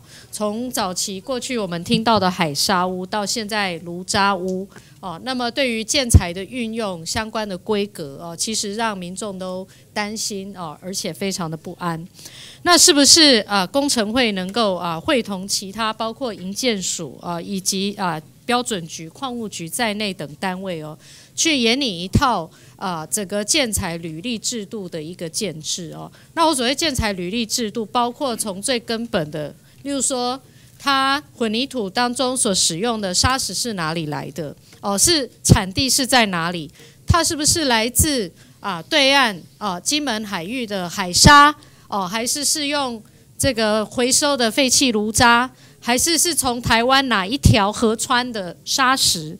而这个河川砂石的采用，是不是符合我们对于环境安全的一个基本的要求跟标准？哦，那这个整个建材履历制度的建制，哦，再加上现代科技，我们用 A P P 用各种的这个技术的搜寻，可以让所有的不管是居住者也好，使用者也好，或者是想要监督的我们这些广大的公民来讲。有更多讯息，那这个部分啊，我知道，呃，这个我我过去其实也有跟矿务局讨论过这个问题，但是这是一个跨部会需要去建制的问题。那尤其是在我们一些新建的这些公共工程，我们更希望能够纳入这个制度。那主委，您的看法是如何？那个委员，你你的构想是很好的哈。现在我们对于厂商的履历和技师个人的履历都在建立。那有关建材的履历哈，我们会努力来。想办法配合，联合这个内政部一起来把它建立建材履历。我想这个建材的履历很重要哦。我们有一些建材是国内产的，有一些是进口的，有一些从不同的地方来的。那它各自有各自的品质，它当然它的价格也是会因而有所不同哦。但是我们整个制度的建制起来，就像我们现在国人很关心食品安全，所以我们在农业产业。啊，上面也是一样，要建制一个整个生产的履历制度的建制，让资讯能够更透明化。那我们居住空间，我们对安全的要求，也希望我们在各种建材，它从生产。包括到在地生产或者是进口来源等等，整个生产的过程也能够建制一套完整的履历制度。那这个部分是不是能够啊，请你们尽速的来邀集其他会同其他相关的啊这个主管单位哦，共同的来研研领。好，报告委员哈，对于国外进口的所有建材，我们有有要求它出厂证明，所以这方面有管制的啊，除非他伪造啊，不然的话有管制。那国内这部分我们会把它补足。啊，这个呃，希望能够尽快的来做一个建制，好不好？好，那接下来哦，我在你们的业务报告里面哦，看到你们针对闲置公共空间的活化哦，是有所琢磨哦，也列入啊，也有也有列管哦。那我想要了解，就是说你们工程会跟财政部跟国产署之间哦，对公共空间闲置空间的这个活化的列管以及活化，呃，到底你们分工的原则是怎么样？我们活化的部分哈，是它第一个，它是要公共工程的啊，公共工程的。那当然，我们呃以最最早是以中央为主的，那现在也扩及到地方建设了。它自筹款办理的公共工程也列列管，和财政部的那个呃，它的资产的活化哈，它包括土地啦，包括设备啦那些，我们和它有这个差别。我们只是所以是标的物的差别嘛？你们是针对建物，也就是闲置建物的公公共设施、公共设施。那他们是针对土地，那建物可是就我的了解，它什么都包括，不国国财署也包含建物啊。对对。那你们这样两个单位之间的这个权责要怎么怎么确立呢？我我们这个活化小组哈，有把国有财产局纳纳到小组里头。那到底是谁主导？所以说我们没有我们没有在在管理的部分，就他管。哎，所以你们负责列管吗？是是。那他们他可是他们我知道他们也有在做列管啊，这样会不会有业务重叠的问题？他是主动要去查他，因为他资产是他管理的，所以他要主动去办理活化。那我们是人家提举。举报的，我们所以你们是被动列管，对，是是。我觉得这个被动好像也也不太够。既然他们已经主动的在在在在在查报了，那那你们多出这项我们一般都是很大的建筑，好。哎，很大的建筑，不像他那个所以你们是针对大型文字馆吗？那你们目前已经列管的这些案例，是不是有一个清单？有，我们可以提供给委们清单，可以提供给哎我们哈。那接下来我再请教哦，我们现在呃整个国家大家也很积极在关注这个 TPP 的推动哦。那我们呃参与整个区域的经贸组织呃区域整合当中哦，其中啊、也会涉及到公共工程的。这个采购的相关的法律规范哦，那之前在台湾加入 GPA 的过程当中哦，我们也已经做过一轮的检视，当然这是 WTO 的标准哦。那想要请问在，呃 TPP 本文出来之后，我相信行政院也有邀集各单位来做法规上面是否有落差的检视。那你们涉及到工程会的部分，以及公共工程啊、采购跟发包的部分，有没有相关法规的落差是需要跟 TPP 做接轨的？报告我也没有，哎，完全没有，完全没有。所以完全不涉及到相关公共工程的啊业务业管范围内的这个法规落差，需要去做调整的部分哈。所以我们现在在国际的层次上，还是以 WTO 的 GPA 哦来作为依据跟标准哦。那我再请教你哦，在这个 WTO 的在 GPA 的这个标准范畴当中哦，当然大型的公共工程，我们是有责任来提出国际啊、以开国际标来作为原则哦。但是我们在国内，我们看到很多的公共工程，事实上是将这些标的哦，把它切割做处理哦。我举个例，像我们花莲人很关心的这个苏花改的工程哦，它整个切成三个标哦，那这三个都是由国内的厂商来做。当然，由国内、国外厂商都是有优缺点哦。由国际的厂商，它有更多的资金、技术哦，它有更可能以更高规格的国际标准哦来办理这些公共工程。那由国内厂商来来办理，当然我们是希望多数的利益能够留在地方哦，那各有优缺点，但是同时也产生了包括弊的部分，也就是说。工程做到一半，有中包商倒闭啦，小包商产生人力薪水付不出来，整个工程延宕的问题。当这些公司本身的规模不够大的时候，是否能够及时的来完成相关的公共工程？这也在地方上也开始产生一些疑虑。当然，我们所期待的是这个苏花改工程都能够如期来完工。但是我举这个当一个例子，就是说我们是以什么样的标准来做工程大小的一个切割？哦，我们是用什么样的标准来说，我们苏花改要把它切成三段？那我们用什么样的标准来决定我们这个是要拿到国际市场去开国际标大型的公共工程的这个国际标？哦，我们现在很多台湾厂商也在标国外的大的公共工程啊。哦，那以什么样的标准来决定？其实从人民的角度来讲，这个工程是谁做的都没有差，它是外国厂商做的，这个或是国内厂商来做，他我的人民要求是品质，是品质跟它的这个啊、整个工程它的一个哦、整体的一个好、有有的时候是速度啦、品质，其实这些都是要兼顾的。哦，那不要衍生出其他的争议。当然，我们也有国内整个扶植国内产业的需求，这两个需求是要兼顾。但是，我们应该要有一个客观的标准，让我们在面对整个国际竞争的时候，包括协助我们国内厂商去开发这个有能力进入到国际市场竞争的这样的一个能力的时候，我们要考量我们国内市场它开放的程度是如何。哦，那我们要保护到什么样的一个程度？这个标准从何而定呢？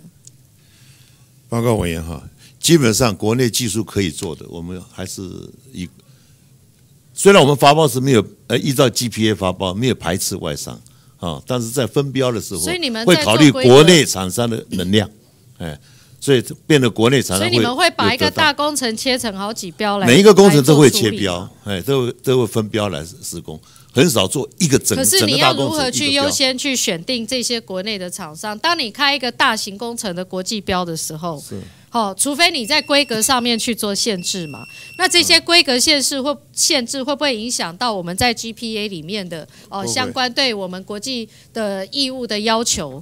哦，那会不会影响到相关工程的品质呢？是只要符合 GPA 的这个标案哈，我们不能不能是不不当的去排斥或者阻碍外商的进定要开入投标放，，让国对，际一定要公司也开放的。能够来参与嘛。嗯，所以说我们规模可是你们为了要让它不符合国际标，为了优先保障国内的厂商，就把这些大标案切成好几个小标，是这样子的逻辑吗？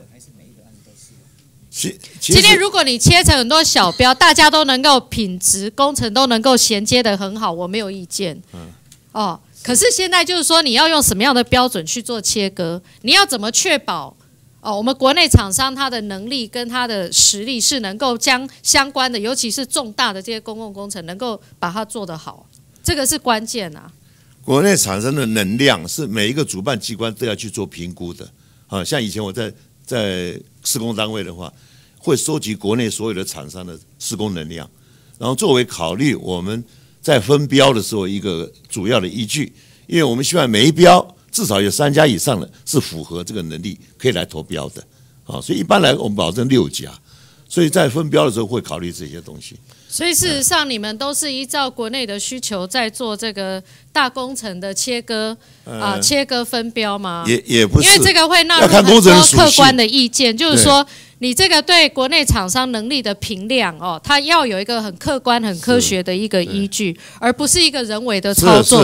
人为的操作就容易产生弊案。哦，所以我举个例，例如说，哎，如果有优质的厂商，国内的厂商，他将一个路段，我们有的路段分好几标，他做的品质比人家还要好。哦，他有什么样的一个奖励措施？是不是可以在一个评量表的这个分数里面，它有一些加分的作用，让他未来在考量各种的标案的时候，哦，是不是有一些客观、公平、哦透明的一些啊、这个评量的呃基准？哦，让我们确保未来工程的一个品质报告委。员有，我们采购法就有这种这这种奖励措施。那我们现在加强建立厂商的履那个计分制度，将来对于厂商参加投标，尤其是最有利标，我们现在都推动的。哦，将来计分它会加分的。那我们这个计分制度是不是也是公开透明，让大家都可以共同来检视？所以你们还在建制中嘛？那十成是我们已经如何呢见识了，但是因为加速的这个涵盖率哈没有达到很高的，所以我们还没有没有开始执行。那十成是大概我们预定年底的话就可以达到了，哎，我们就可以年底哦哎年底嗯就可以达到。请陈欧破委员代理一下好吗？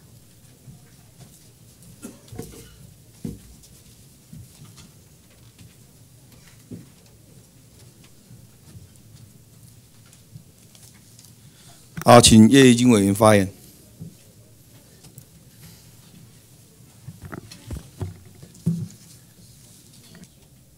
请许主委。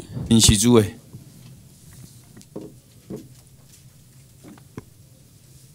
叶委员好，诸位你好，诸位，我们公共工程委员会无论是工程的争议，还是这个采购的争议，大部分都是第一厂商申诉，然后呢，厂商申诉了以后呢，你们就邀集相关单位来协调，然后协调不成就进入仲裁或者诉讼，对不对？是不是这样？是是，好。那么这个机场捷运啊，你们没有厂商申诉，你们主动召开秘密会议协调，为什么？他特别哦，报告报告委员，它不是秘密会议，哦，主要是我们为什么那个稳它是解它是密件呢？我们不要让厂商晓得，就这样而已。哦，好，不要让厂商晓得，所以你们用密件处理。是。啊，为什么就处理这一件呢、为什么你们会主动啊？哈？你刚刚已经说，我们都知道，你一年要处理四万多件，通通都是要人家有要求你才来做的。就读读这一件，你们可真是积极主动啊！为什么？为什么？第一个，它是我们二十项指标型的计划，而且是指指标型计划中国人最瞩目的。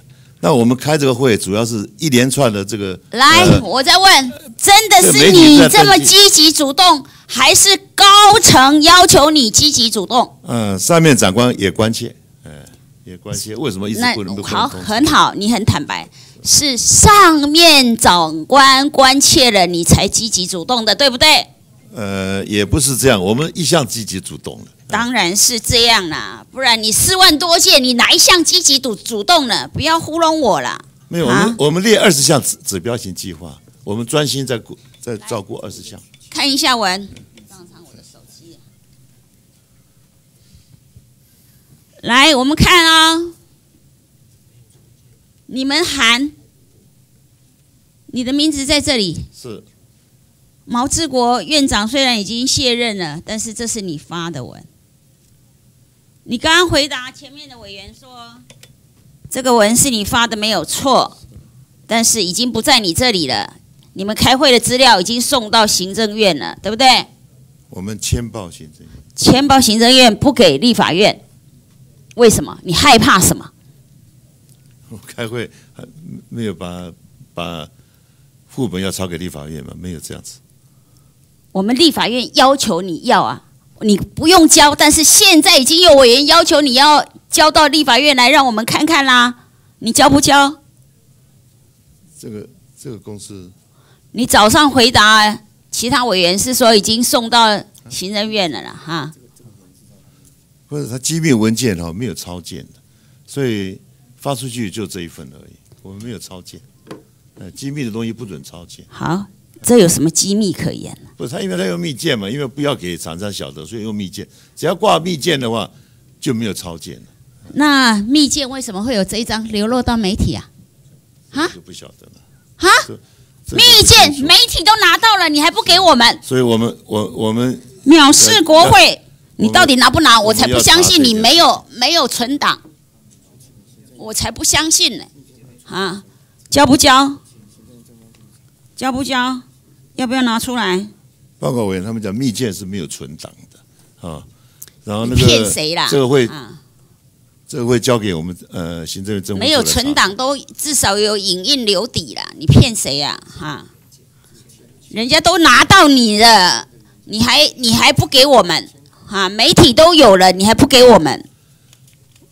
你那个存不是说要，不是说你们要裁撤就可以胡来了，不会不是说政党要轮替了，哎你们就可以乱来。我们不会这样啊我们那就交出来那就交来我们看看你的机密，来，你做的决议，你开的会议到底是怎么一回事？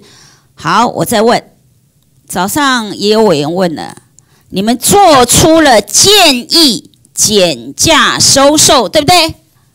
这是选项，我都很认真在听你的答复。你说这是选项，这是法律意见，请问你们那个会议的结论，选项有几个？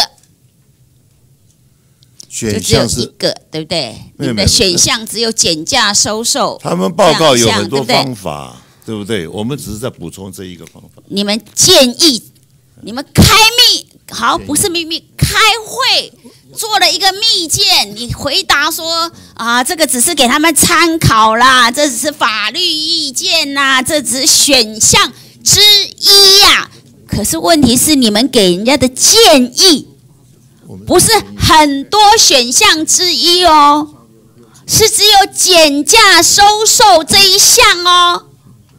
那再明白也不够了，不是吗？报告委员了，其实开会里面他们也有提出解约了这种这种方案了，啊。那谁其实谁提其实我们不是建议他，我们是建议他要评估，然后这个都可以纳入考量。来，不要再凹了啦哈！你们做了这个，上面要求你们去帮他解套，你就照上面的意思去开了一个会，还正式做了建议。减价收售，还帮人家找好理由，你还要凹，还要糊弄我们说不要让厂商知道，你每一项动作都是在为这一家厂商解套，还要假装说不要让厂商知道，所以是用密件。其实你们密件是害怕这个啦，害怕这个说让大家知道，这个是院长的指示啊，哈，这不是吗？这这这是委员你自己的我的我的自己的我的我的逻辑推断哪一点错？我不是想象这，我这个是逻辑的推断我的逻辑推断哪里错？哎？事实不是如此，啊不然事实是怎么样？事实就是你四万多件，哪一件你主动积极的帮他们开开会解套的我？们有开过很多会，包哪括一哪一项？你告诉我，你做一个报告来。来，好，你喜欢做书面文章，会议，你喜欢做，你喜欢做金门大桥，我们也。是专案去去督导的。好有，很多哪一件哎哪一件你用这样子积极主动的开会以后，给他们法条，帮他们解套，还给他们建议，叫他们减价收售，给他们建议这种案子。那个来四万多件，你给我，你好看有多少件你这样做的哈呃？给给我给我们哈看你们四万多件里面有多少件这样做的哈？给我们一个资料来。是好，我们现在就要说了哈。其实哈，公共工程委员会哈，你们对于公共工程规划，我们的公共工程规划外包工程顾问公司，对不对？规划给外包的工程顾问公司，好，再来工程发包给营造公司，对不对？监造，第三项监造还是发包给顾问公司。你们整个公共工程委员会有什么人真正有实际工程的、真正懂的、有实际工程的这种时机跟真的了解的，有什么人呐、我们工程会里面都是要有具有实实际经验才可以才可以录取进来的。实际经验对，是啊，他念书可能是念过，是是是，他念只有读书书，也不是只有考试，好好他要有实际。哦，所以他们是真的有时机的。好，那可是他来了你们这里以后啊，就变成啊、只会纸上作业了哈，不是吗？规划、外包、工程外包、监造外包，他还会吗？他都坐在办公室里面看图，坐在办公室里面监造，不是吗？报告委员，我们不是执行机关哈，我们是一个督导、追踪列管的机关。主委，你刚刚说的很好，我以为你们都没有实务经验，结果你为什么录取的时候需要他们有实务经对，这样验他才可以督能来？导人家。对，嗯，这样才以可是他来了以后呢，就只有在信义区的办公室坐在那里，坐在信义区的办公室，当然是很高兴了哈。这有多少人可以到信义区去办公的？哈，公部门也只有你们了哈。这个全台湾也没有多少人了。可是这些有实务经验的进到你们信誉区办公室以后，他的实务经验就不再管用了，是不是？不会很怎么会不会呢？他们就只有在办公室里面。好，那你告诉我们，嗯你们的人员是有多少人会真的出去抽查的？有，我们有工程查核，有有采购稽核，比例呢有工程鉴定委员会在你们的。工作比例呢？在你们的人员比例呢？有没有到百分之一呀？我我告诉你，连百分之一都不到。不是不会，我们公公管处全部都在外面查核，哈哎，全部整个处都在外面查。你们嗯，你说什么？公管处、工程管理处，整个处的人都派出工程管理处全部都在外面查核对，不是坐在办公室里面的不是坐办公室。啊。工程管理处有多少人？在你们员额的百分之几？三十五位，在你们员额百分之我我们机关很小，嗯，才一百五十个，一百五十到六十。诸位，我要你们哈去做的，真的要做的，公共工程要去做的哈，是真的能够去集合，是。去发现问题，有。去督导，真的去做，而不是帮厂商解套。不会，这不是你们的工作，怎么会不会呢？机场捷运，你真的要觉得站在国家的利益，我再问一次，站在国家的利益也好，站在交通的安全也好，工程的安全也好，你真的认为我们应该让这一家公司脱身，让它减价收售吗？这个要主办机关来评估。你们做出来的建议，现在你也不认账，不敢认账了，是不是？这和认账没有关系，这建议是我们是跟他讲说，法规上面有这一条。你的立场就是这样啊！你们整个公共工程委员会不是只有主委这么多专业工程人员，你们摸着你们的良心，你们都还有实务经验的话，请你们摸着良心，公共工程委员会做出这样的建议，叫做减价收售的建议，对得起这个国家吗？一千一百四十八亿的工程，这个里里浪浪做了二十一年，延宕了六次六年，你还要让他全身而退？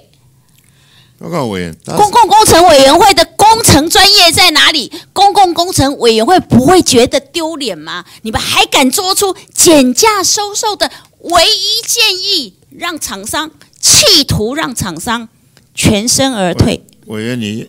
是不是听一下我讲讲？这个建议是在他当时简报完了以后，大家讨论啊，认为说，哎，还有这一条啊。要假如是以今天的状况，今天的状况来讲，我们根本不会跟他提这个建议。啊，这也不过是什么时候啊？多久以前？去年十二月出出的文嘛，但是去年十二月开的会，好，是以那个状态。十二月，现在你后悔了哈？简报资料，嗯。那你后悔呢，就更不应该了。你看，你这么粗鲁的做这样的这个建议，去年十二月做的，你现在只不过三月，你后悔了。好了，算你有点良心了哈。各位工程专业人员，公共工程委员会哈，不要晚节不保了哈。有多少人努力过，结果你们在最后，其实呢，政党轮替以后，我认为公共工程委员会。有机会我都觉得不应该猜测，可以重新考量一下。可是你们这样的做法哈，真的让大家非常的失望。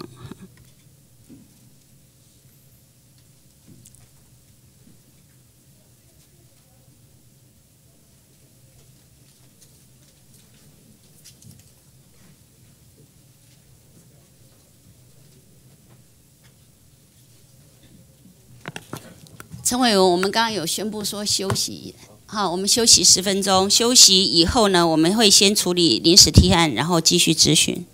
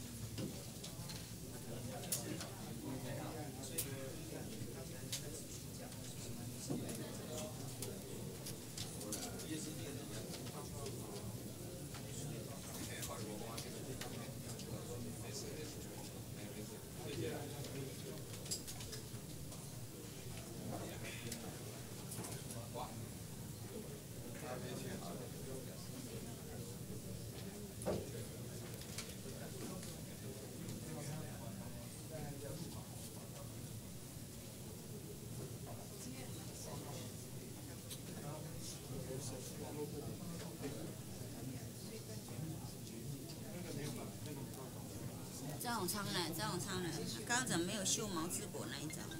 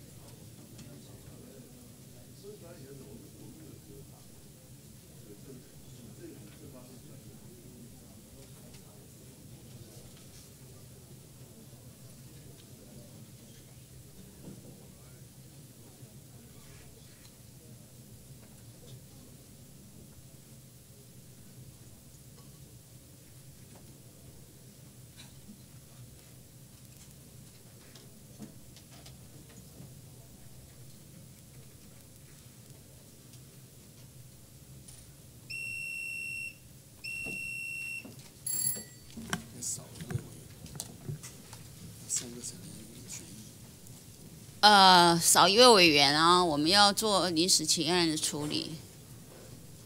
刚才陈雪生委员不是打了电话说他要来吗？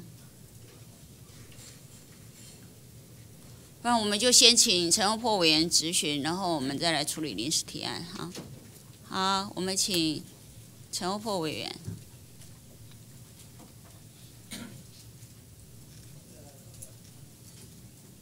好，谢谢主席，请许主委。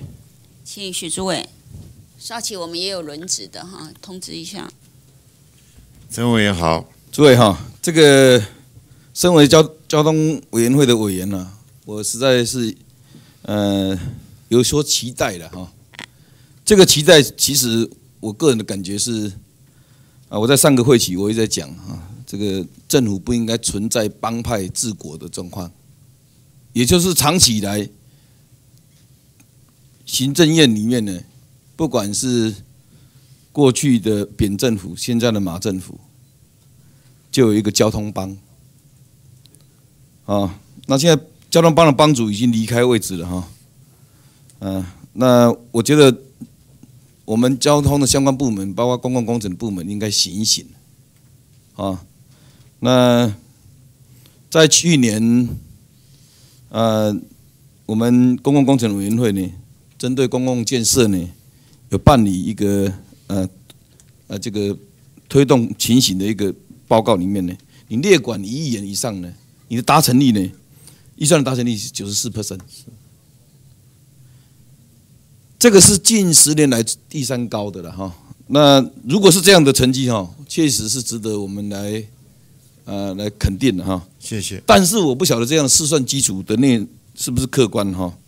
尤其最近大家一直在讲说这个淘机的这个捷运的这个工程的落后，我实在心中不解，因为我个人常常接触到很多的呃这个承承揽我们政府的一些工程呢，经常呢呃我们的公共部门呢也善尽责任啊，要求他们工期工程的品质要能够掌握。可是我就根本不晓得为什么我们高铁局跟我们公共工程委员会，包括刚刚叶金委员所执行的，为什么独后这个日商、丸红公司以及我们这个呃浩志浩志的这个浩志商西门子？我觉得哈，如果是因为我刚刚一开始讲那个原因哈，那我觉得说你这个时候我们大家应该啊呃这个好好的做一点事情。把这个原貌呈现出来。你刚刚讲跟回答叶文说是机密密件文件，这个我当过公务人员，我知道啊。任何普通文件你要留档啊，怎么可能机密件机密文件极机密都要留档？而且机密等级越高的话，越年限越久才能销毁了。所以这个是你给不给的问题。我在想说你的心态了哈，因为其实我知道许主委啊，在也要即将退休了啊，那。在最后这个阶段哈，我们是不是让社会能够更了解哦，到底是怎么样哦？政府部门可以这样子也一再的延宕这个工程，一再的在袒护外商，一再在图利财团吗？这个都不对的事情了哈。所以那个主委哈，我希望说，针对本委员会对你的一些提供的意见呢，你能够重视，在最后阶段，我刚刚讲的啊，大党头我们的。交通帮帮主啊，已经在今年一月份就就就下来了哈，所以我们就就希望说你们能够好好的处理这个事情，那尽量哈来协助机场捷运怎么样早点在合理合法范围内早日通车，这个部分是你们的责任，好，你们要协助他们哈。第二点呢，我想说这个啊，你也拟定到一百零五年度加速公共建设计划执行。成效的措施，你今年的目标上半年是希望能够啊较前五年度提升五个 percent，对不对？有没有信息达成呢？这个非常非常困难的一个一个任务啊，因为因为景气低迷嘛，所以希望在公投资公共建设部分哈，能能振兴我们的经济，所以国发会提出一个议案，就是说要。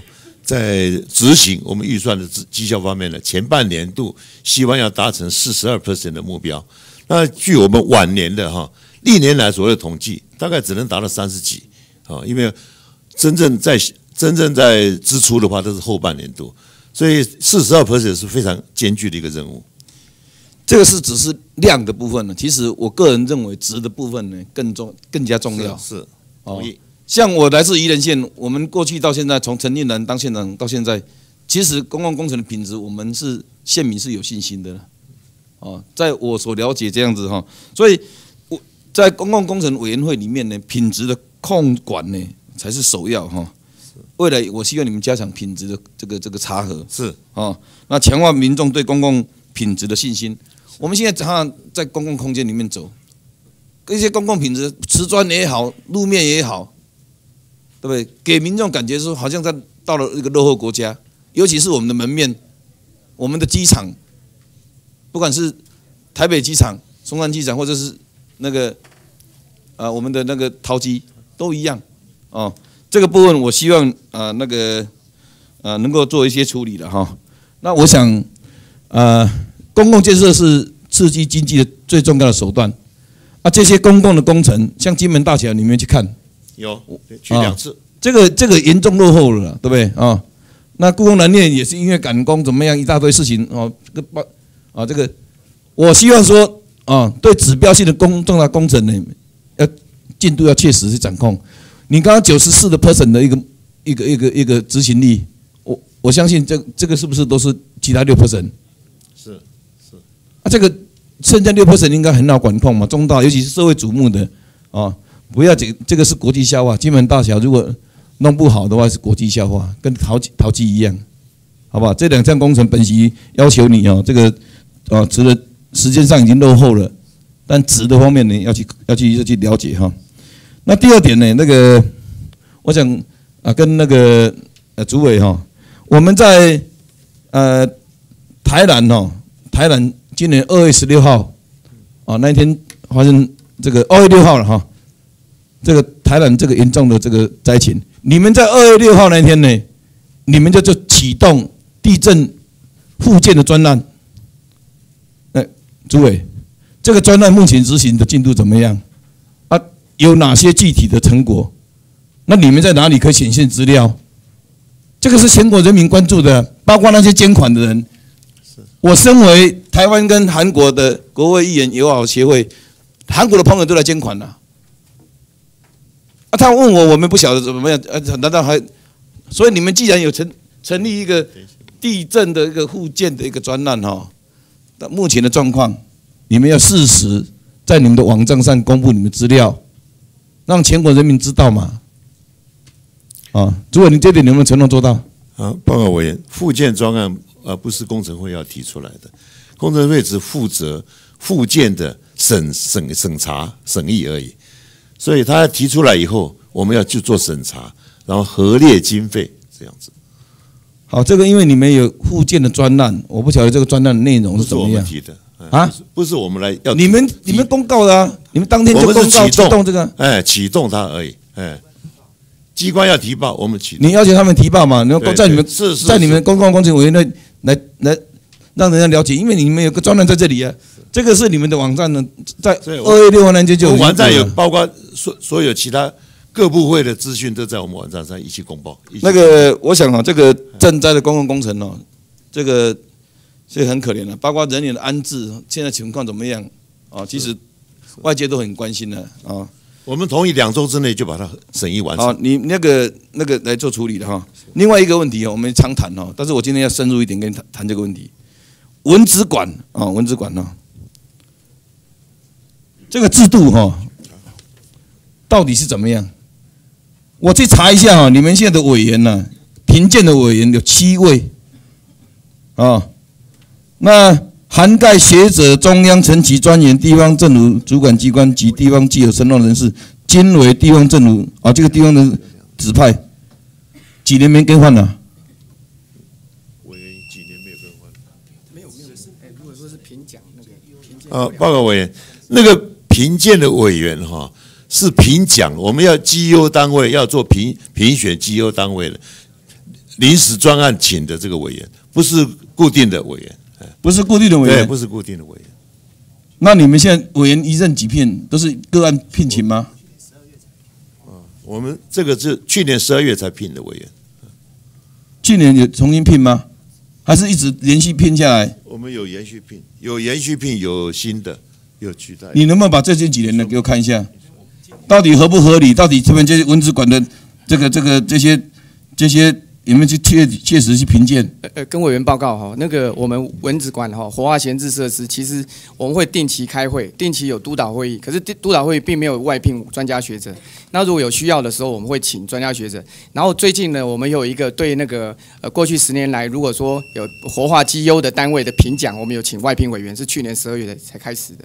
然后这个这个委员，我们也不会不是持续的，就是评奖的话，我们邀请他们来嘿邀请的。我希望这个评鉴委员会哈，不要只是做一做表面功夫了哈，让文字馆再重现。依然有个文字馆，你知道吗？依然呢、你知道全国都有，你知道吗？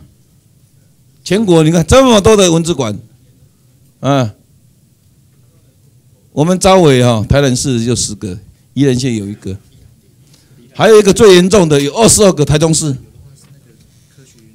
以后要抓蚊子到台中去抓了，那怎么？登革热最严重在台南，嗯，我建议你哦，像宜兰像这种这个真的是重，给人家笑死了。宜兰在什么地方的吗？在竹科的宜兰那个宜兰基地，原本我们期待是金鸡母啊，就要变成小蚊子没有啊结果那个主委哈是，我想很多事情呢，在你最后阶段，我希望你能够多用点心呢。虽然你是是政务委员，我一定会坚持到最后。啊，最后一点我要谈一下哈，那个这个是啊采购法的问题了。我知道我们相关的这个工程纠纷，我们公共工程委员会目前有尽很大力量，大概调调解哈，大概成功的比例大概有百分之八十几八十几吧。八十七，调解不成，我们仲裁嘛，仲裁不成的话，就是他们会会去打行政的诉讼，或者是打司法的一个程序去去走啊。但是有关这个采购法哈，一百零一条刊登政府采购公报的问题哈，这个我这个法真的是是有时候是定了劣币驱逐良币的。现在好的厂商他们才敢去标政府的工程，但是呢，我们呢啊经常呢啊没有办法保障这些优良厂商。啊，只是因为没有不符合比例原则的疏失呢，就造成他被被停了一年三年。啊，整个公司没办法营运。啊，他的公司没办法营运，他等整个公司的员工的生计就受到影响。我也在提醒这这个部分，我们要去解研究解决了，好不好？那因为时间的关系哦，我我拜托那个主委哈，是不是能够在最好能够哈那个在最后任内把这个法修一修了？是啊，我们在纳入修法的一并好，谢谢考虑。。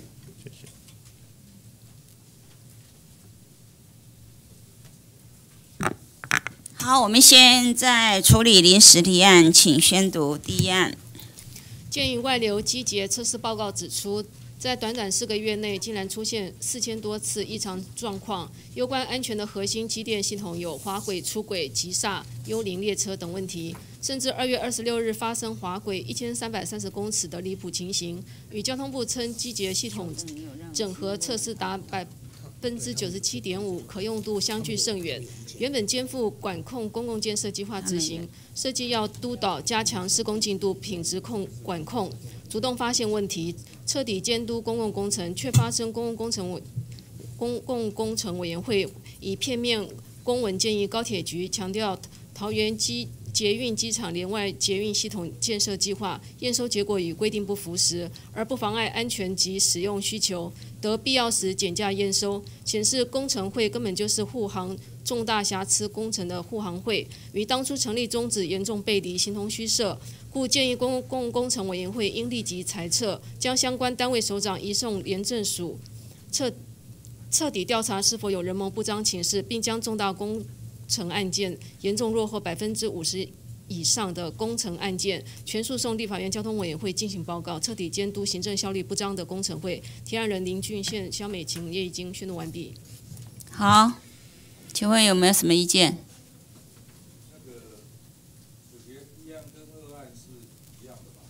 没有关系，我们一案一案来。第一案来，要要那第二案继续念吗？你是说两案一起处理吗？不太一样，不太一样哦。对了，来一案一案来好了。来第一案，来第一案，嗯，有没有意见？没有意见哈。好，请说。赶快啊！对啊，要记录的。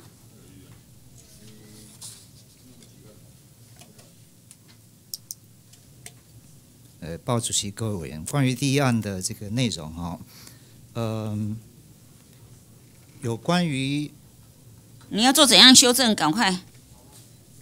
有关于那个最后面呢啊，呃，重大工程案件严重落后百分之五十以上的一些案件哈，呃，全数送立法院交通委员会进行报告。我们建议改成呢，呃，把这个案件的会诊之后呢，呃，提书面的资料给交通委员会。好，可以。至于这个呃移送廉政署的这个部分，来，这个哈，你去看要怎样做文字修正，你要站上来以前先处理好，好不好？我不知道你在说什么哈。这个等一下你们提提出文字修正，我们再来，请宣读第二案。你上来你就要很清楚了让我们知道你要怎么样。公共工程委员会依政府采购法第十条之规定，主管政府采购争议事项申诉之处理。但对于桃园台湾桃园国际机场连外捷运系统建设计划，却主动邀请邀却主动邀请政院交通环境资源处、交通部高速铁路工程局召开会议，并作出建议结论，要求高铁局对于直接计划采取减价收受方方案，严重违反行。违反政府采购法所定争议处理程序，更违反公共工程委员会与采购争议所应处于中立公平之角色，更有图利厂商之嫌，罔顾民众交通权益。原要求公共工程委员会主委应该立即辞请辞负责，以为公共工程委员会信誉及政府采购法之公平性。提案人叶义金、郑宝清、郑玉鹏、李坤泽、林俊宪、肖美琴宣读完毕。好，这件事情已经被媒体披露了哈，而且上面就盖着主委徐主委你的章，这个你也承认这是你做的，所以我们认为要有人负责哈，要有人负责。来，请问有没有意见？好，请副主委。好，主席、各位委员哈，那么本案哈，我们工程委员会也悉心检讨，哈，确确实会检讨。那是不是哈可以在后面激请请辞负责这个部分四个字改成这样哈？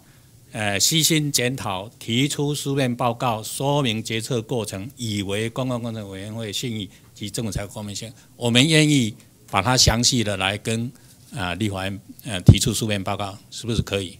好，请李红军委员要有人负责，这样还是没有人负责哈，只有作文比赛而已哈。来，李红军委员，好，谢谢主席哦。请说。这其实这一次的机场捷运哦，真正它的最大的问题是在交通部。交通部从它的发包到它的整个监造，这个你等一下咨询的时候可以说不是不是哈。，因为如果你现在是所有的责任让公共工程委员会去担的话，等于是帮交通部解套。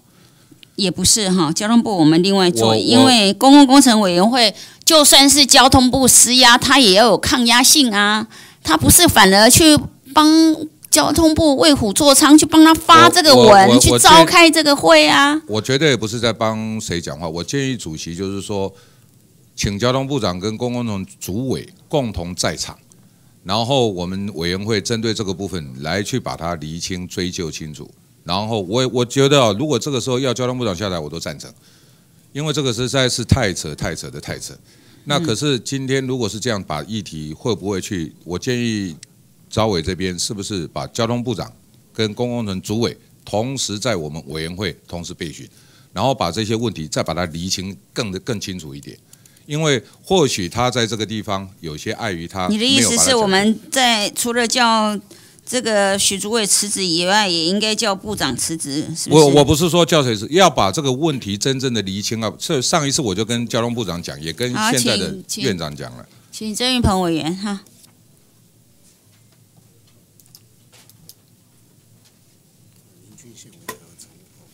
哎，主席各位委员哦，有关于这个临时提案呢，刚才我咨询的时候才发现说，原来这个减价收受这个法律的见解是工程会主动提出来的。那除了在这个临时提案我们招委所写的内容之外，我后来觉得好像有点被骗的感觉，因为主委您说你们在这个案子是在公共工程督导汇报后面的专案会议提出来的，但是却没有这个专案会议的会议记录，所以我后来想一想。这应该是五郎，不管是当面或者什么样指示给你们的吧？好，所以在这个案子里面，刚才李委员的高见呢，我们也都很尊重。再想一想，是跟招伟讲的一样了。在这个案子上，如果真的要负责的话哦，它分两个层次。第一个层次是你交通部高铁局，你你对于这个机场捷运你自己本身乱搞嘛。第二个是公共工程委员会，你们主动的去提出。没有办法为社会跟政府所接受的哈，包含高铁局自己都不太接受这个减价收受的这样的一个方案，那当然也要负责啊。所以我想，如果说要修正的话，应该是如果这个文字是公共工程委员会主委应该即请辞负责，那当然要加入交通部长也应该请辞。这个我们要分开处理，因为我们今天审的是公共工程委员会，所以下次交通部的时候，我们可以再做决议处理。来，再来是我照次序哈，林俊宪委员，照举手次序，再来陈欧破，再来陈雪生委员。谢谢主席啊。那关于这个，其实机场捷运啊，减价验收啊，这个是最要不得的。你减价验收啊，这个工程就绝绝对啊没有办法完工。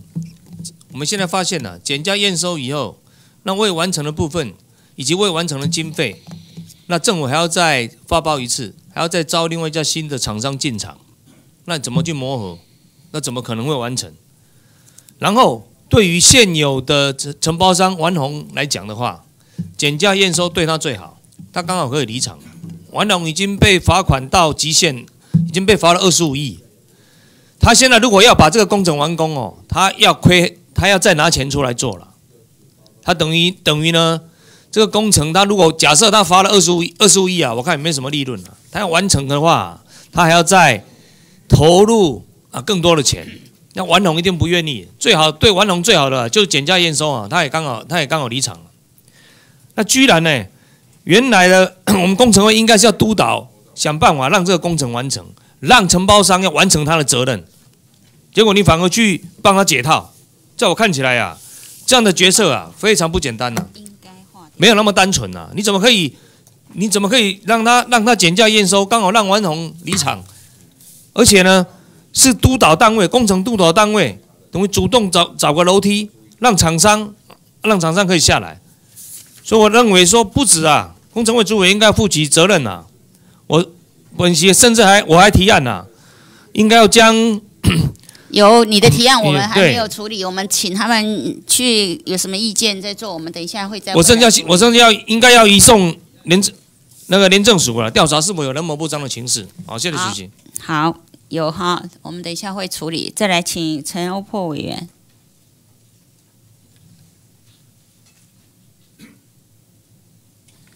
这个公共工程委员会破天荒第一次主动邀请行政院。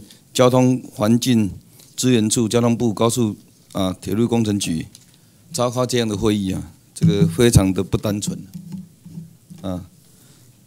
我也不想问你说谁指示的了，哦，但是我还是讲一句话了，如果我判断没有错的话，啊，我们应该严厉的谴责前行政院长毛志博，啊，长期在交通单位又贵为行政院院长。害的机场捷运到现在呢，延宕二十年，啊，好，这个我再讲一句话哈，就是说，我建议哈，这个事情要调查清楚了，哦，到底是谁指示你？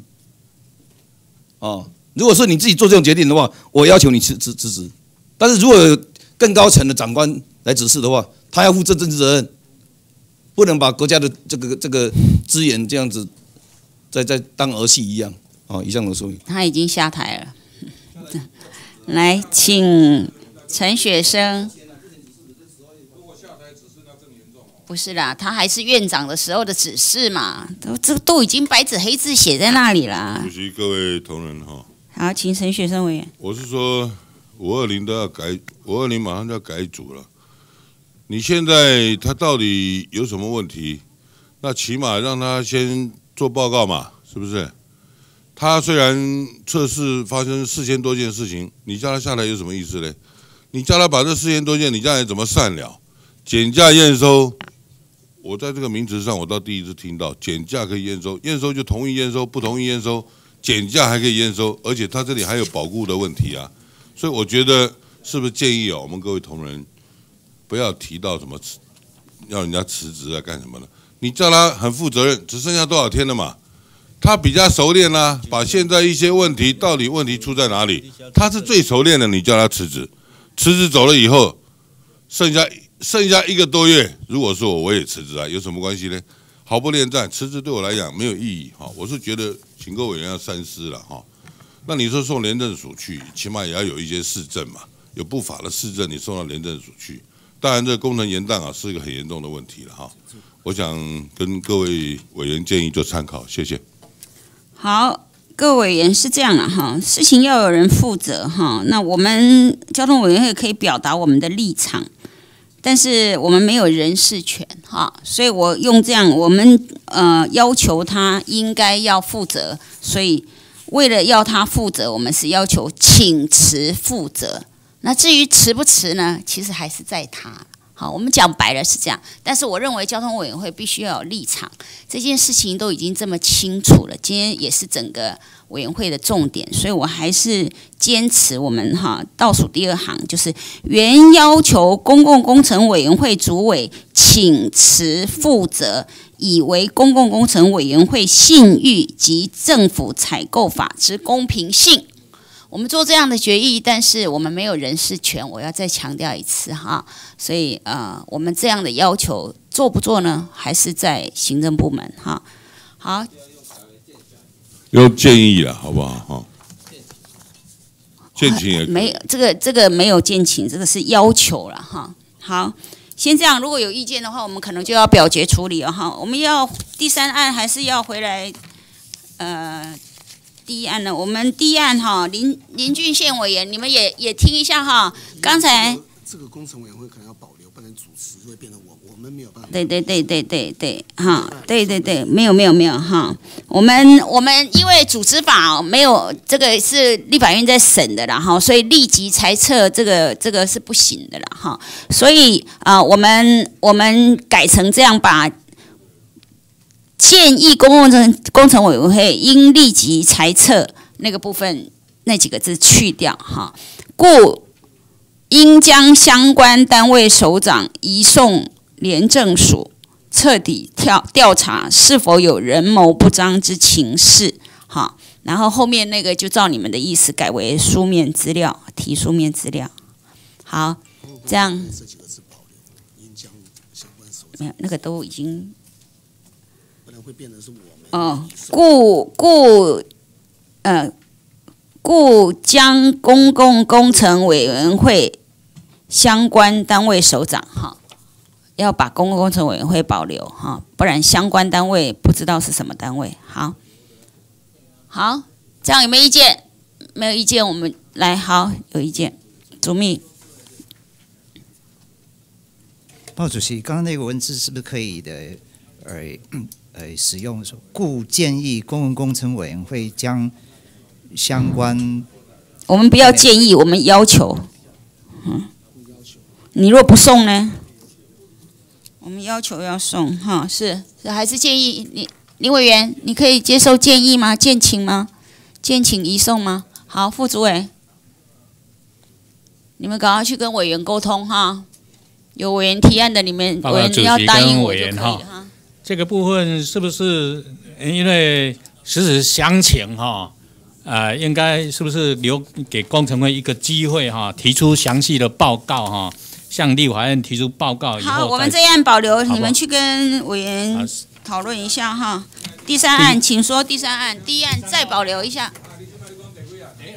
第一案好，第三案请宣读哈，第一案再沟通一下，去跟林勋宪委员沟通一下。桃园机场捷运自二零零六年发包以来，花费一千一百三十八亿元新台币，至今施工超过十年仍未完工。桃园机场捷运工程隶属公共工程委员会列管重大工程，恐有督导不周之余，是以要求公共工程会针对桃园机场捷运从招标以来至施工时种种缺失，提出考核报告送交本本院交通委员会。提案人李红军、郑云鹏、叶一金。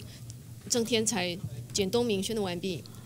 这个是一千一百四十八亿还是一千一百三十八亿啊？请问公共工程委员会？一三八，好，那我们照案通过。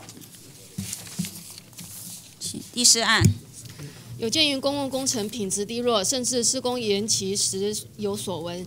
现行政府采购法规定，针对上述问题，仍未能有效进行防治，是以公共工程委员会近期提出停工中解约管控、推动开工要件与公共工程全面评分等新制度，来提升公共工程品质。由于上述制度缺乏法源依据，且并未具有相关强制规定及处罚条款，以至于无法用于。拘束各行政机关，更难以达到淘汰不良厂商的目的，是以建请公共工程委员会应于半年内将上述制度纳入政府采购法予以法制化，并加入相对应的罚则，借以落实公共工程委员会对于公共工程的督导与考核职责。提案人李红军、叶玉金、郑玉鹏、简东明宣读完毕。好，有没有意见？来，工程委员会。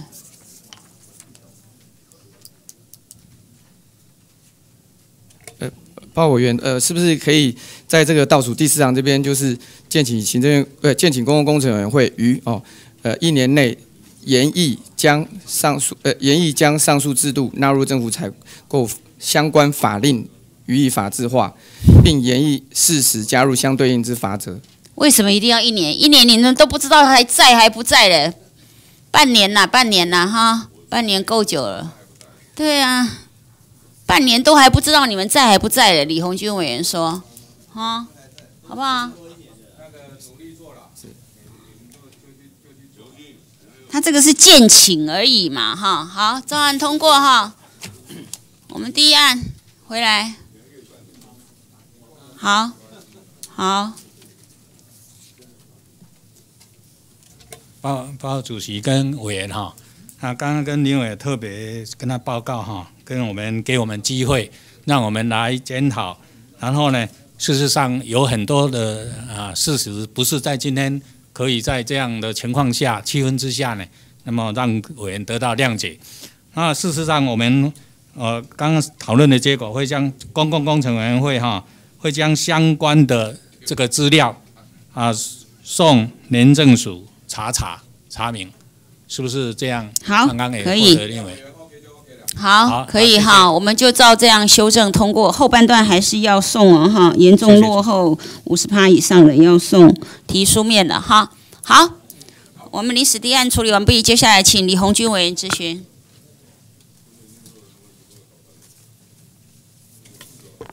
呃，谢谢主席英明啊，主席，我们请我们主委，请徐主委。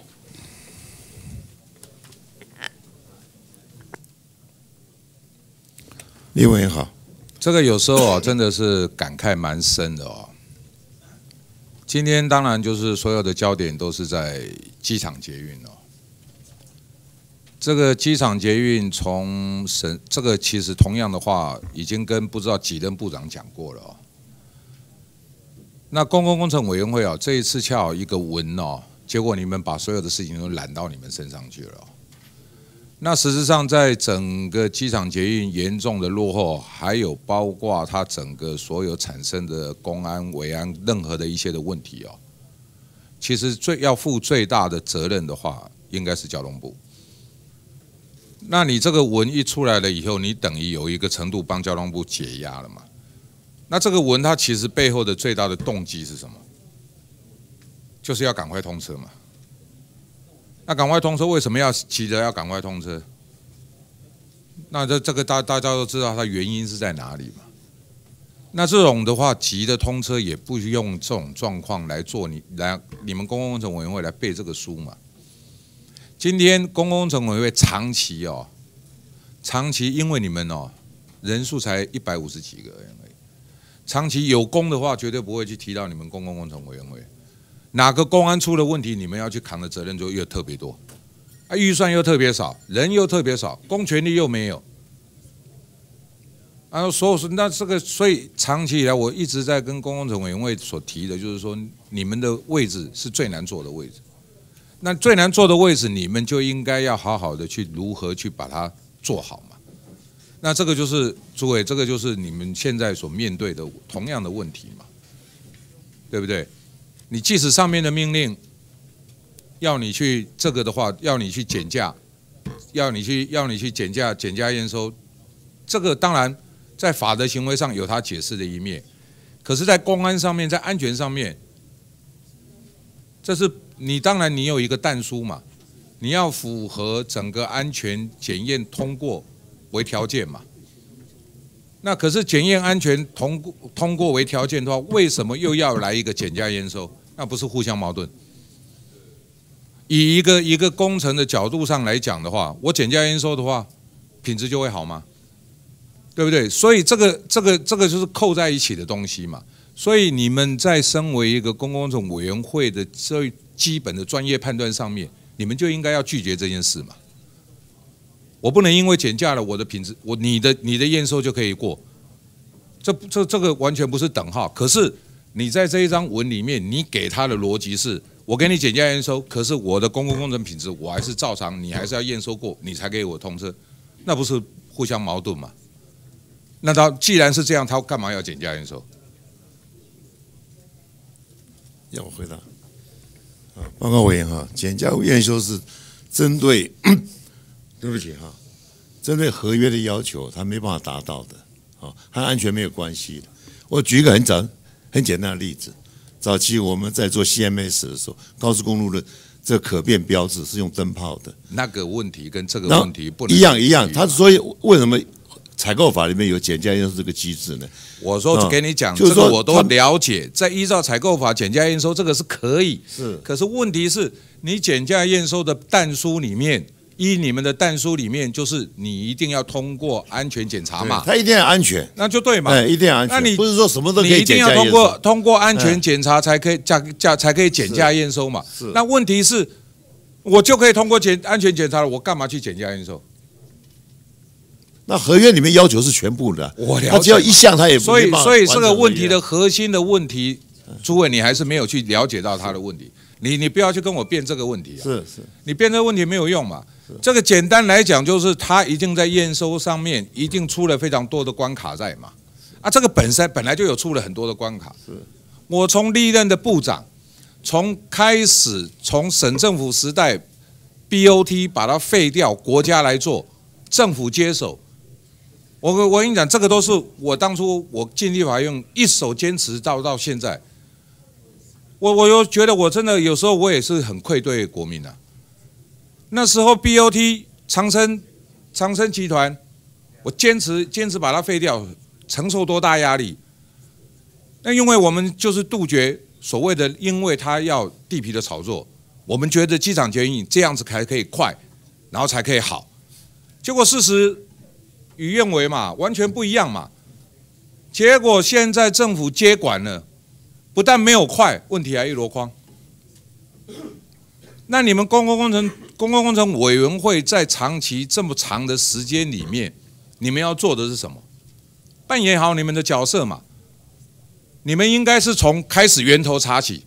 你们我跟交通部部长讲了讲了，他也他也是应付式的答了一下。今天你要洗刷你们的冤屈的话，从源头查起。当初的发包制度是怎么定下来的？是谁来发包？谁来主导？从这个地方开始查起。当初的完红为什么可以得标？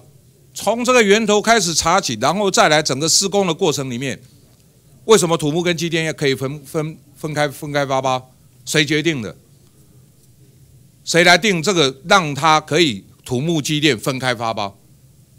这个都是当初的错的源头嘛。决定完同土木机电分开，这个都是这个是最大的两大错。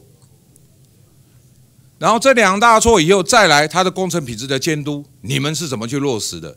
这个才是你们现在公共工程委员要去做的事情嘛，而不是说我今天我来一个分，我来一个减价、减价、减价、减价、减价来验收，那你们等于是扛了所有的责任嘛。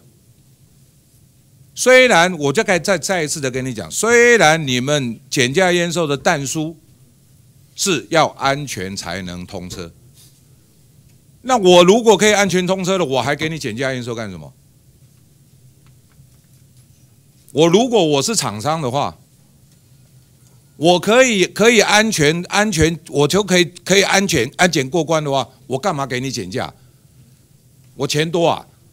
所以针对这事情，我 报告一下，跟委员报告。他他在专案会里报告的时候，哈，是四十六项的检测项目，四十四四四十四项都过了，只有两项没有过，一个就是平均行驶速率，一个就是车间距而已。那这两项，我们大家都在问了，这两项来影响到会安全吗？他说不会影响安全。那你说，所以我我就讲，如果你们是这么这样的单纯的话，那讲真的很真的完蛋了。你问他们会不会影响安全，他们说不会，你们就认为好 OK 啦。不过那个那如果是这样，他干嘛减价？不减价验收也要他们做评估，不是我们在做决定。所以为什么会提出减价验收？减价验收谁提出来的？是大家讨论，就是说大家讨论是谁提出？采购法不影响到这个。是谁提出减价验收这个提议的？哪一个人提的？很多人在很多人开会，很多人提出来就不可能很多人开会提出来，一定有一个人最先提出来的。最先提出来那一个人是谁？都不记得了，那个不记得，你去把它查出来，这个人才是问题点嘛。不会的，这个这是我们我怎么会不会？我也知道会讲出这一个人一定是会讲出这一个人绝对成绩不亚于部长嘛，我知道嘛。那问题是，你今天会提出减价验收，那你们的专你们的判断的话，你用一个逻辑去判断就知道嘛。那你如果是用他的弹书里面，我是可以，我要求的是一定要安全。那你现在讲的车的间距，还有包括什么速度？速度，车的间距跟速度安全没有没有关系吗？安全没有关系。怎么会安全没有关系？它就是行驶行驶时间，最后行驶时间。你因为它的间距，它安全没关系，是因为它有所谓的刹车系统，它车子不会去追撞。那速度的话呢？我本来从我从我从我从我。台北到机场，我本来如果说我本来是可以三十分钟，结果因为速度的问题，我变五十分钟。当然安全没问题啊，可是问题是问题所延伸出来，这个才是问题啊，怎么会不是问题？所以这个而且也只是表象的问题而已啊，这也只是表象的问题而已啊。你今天你们要测试的，我也去测试，我也去做过了。你今天这个机场捷运它的运量，它运量是重运量的。它下面的是钢轮的，还是胶轮的？它是算中运量，中运量嘛。那你现在在爬坡的时候，它的载重载重试验你们做了吗？他们有做，他们有载重试验，在在到负荷最重的情况下，载重试验要做。我然后这个我现在讲，如果一切都可以顺利，都可以安全的话，跟减价验收，他干嘛去做这个？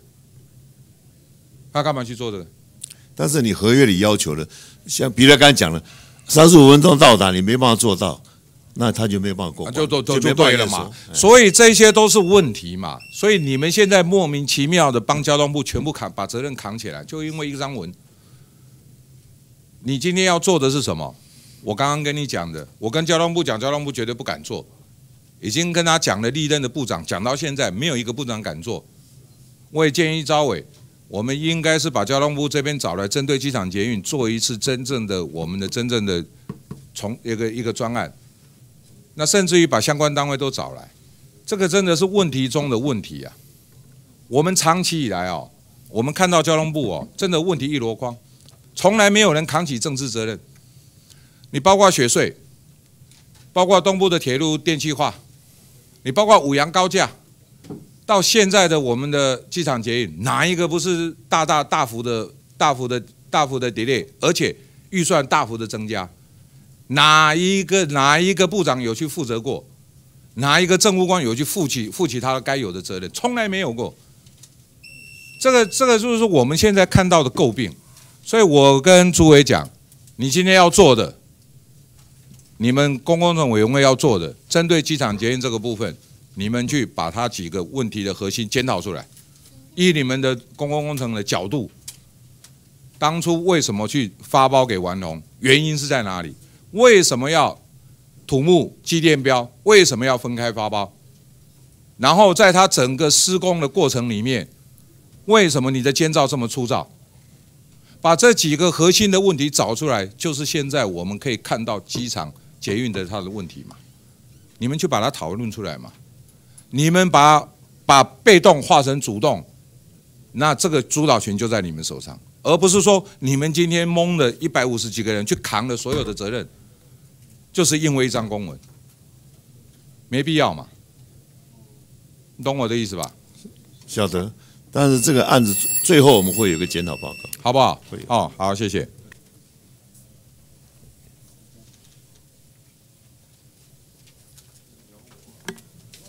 好，我们接下来陈学生委员咨询。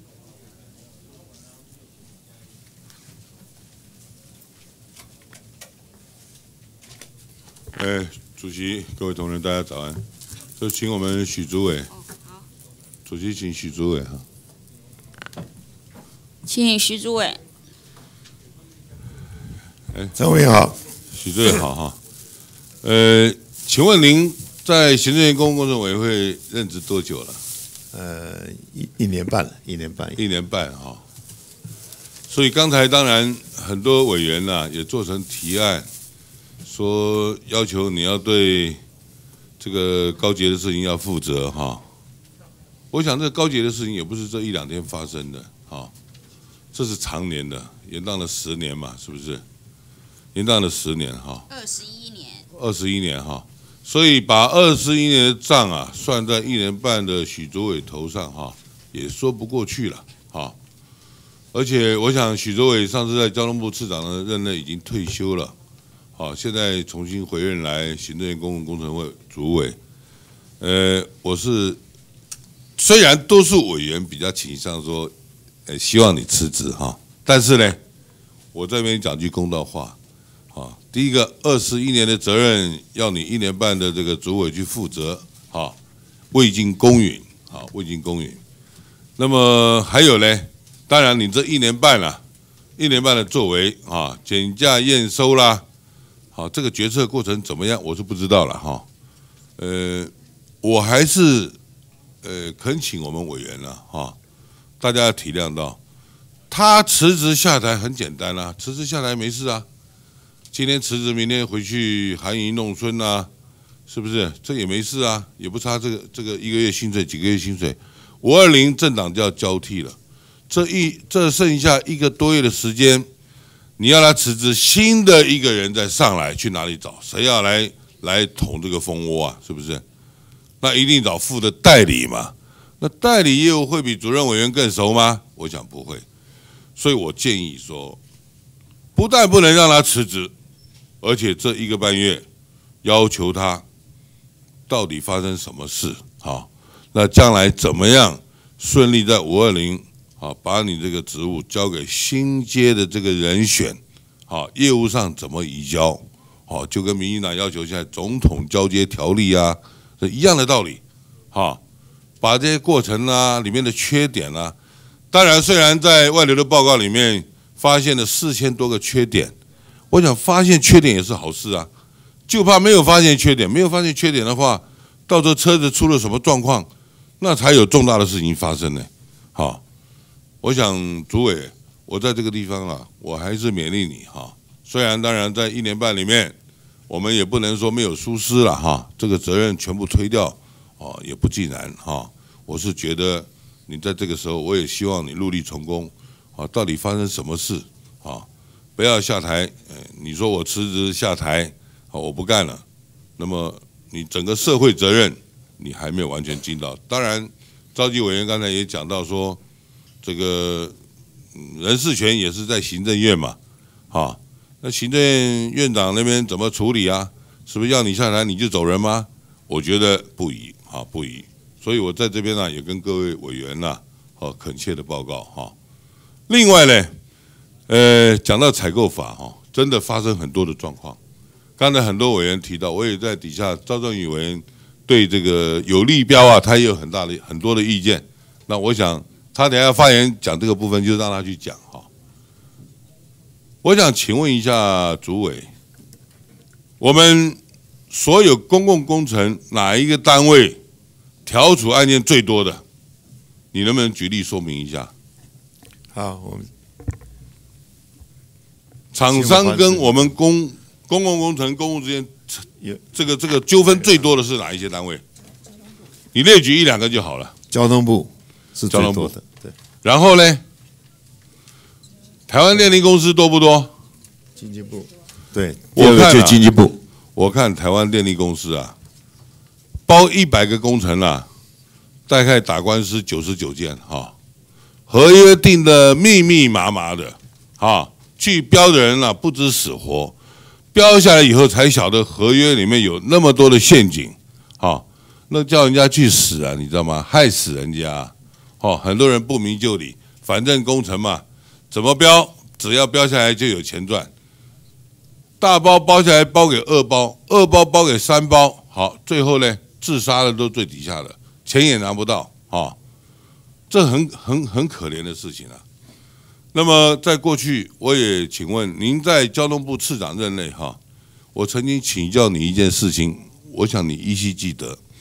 我再请问你一下，因为再过一个多月，我想你已经离任了，哈，不离任你也会退休了。栈桥是桥不是桥？我心里面到现在一直还是很纳闷。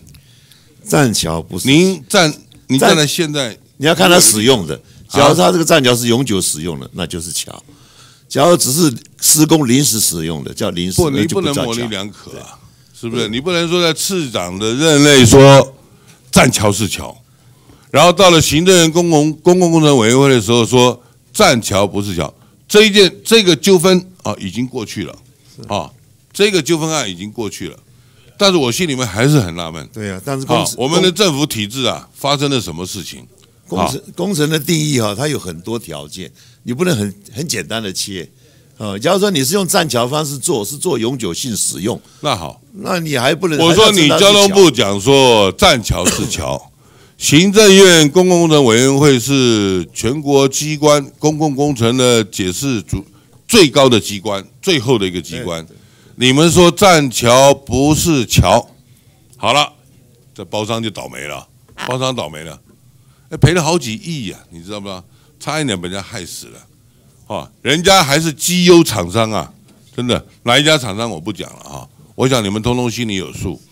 我是说，我们要苦民所苦啊，不要因为公务员的作为啊，让老百姓啊，我想他们这些有一些是绩优的厂商，部长也说他是绩优的厂商啊，也跟部长照了相了，嘿，却发生那么大的公共公共公共品质是，甚至因为你们一个解释法令而造成这样的一个问题。好，还有我再举个例哈，呃，高铁局，高铁局有一个案子包给一个韩商，韩国人，他是他他标了，好，那么下面还有大包、二包、三包，好，当然三包跟二包有合约，二包跟大包有合约，大包跟韩商是没有合约的。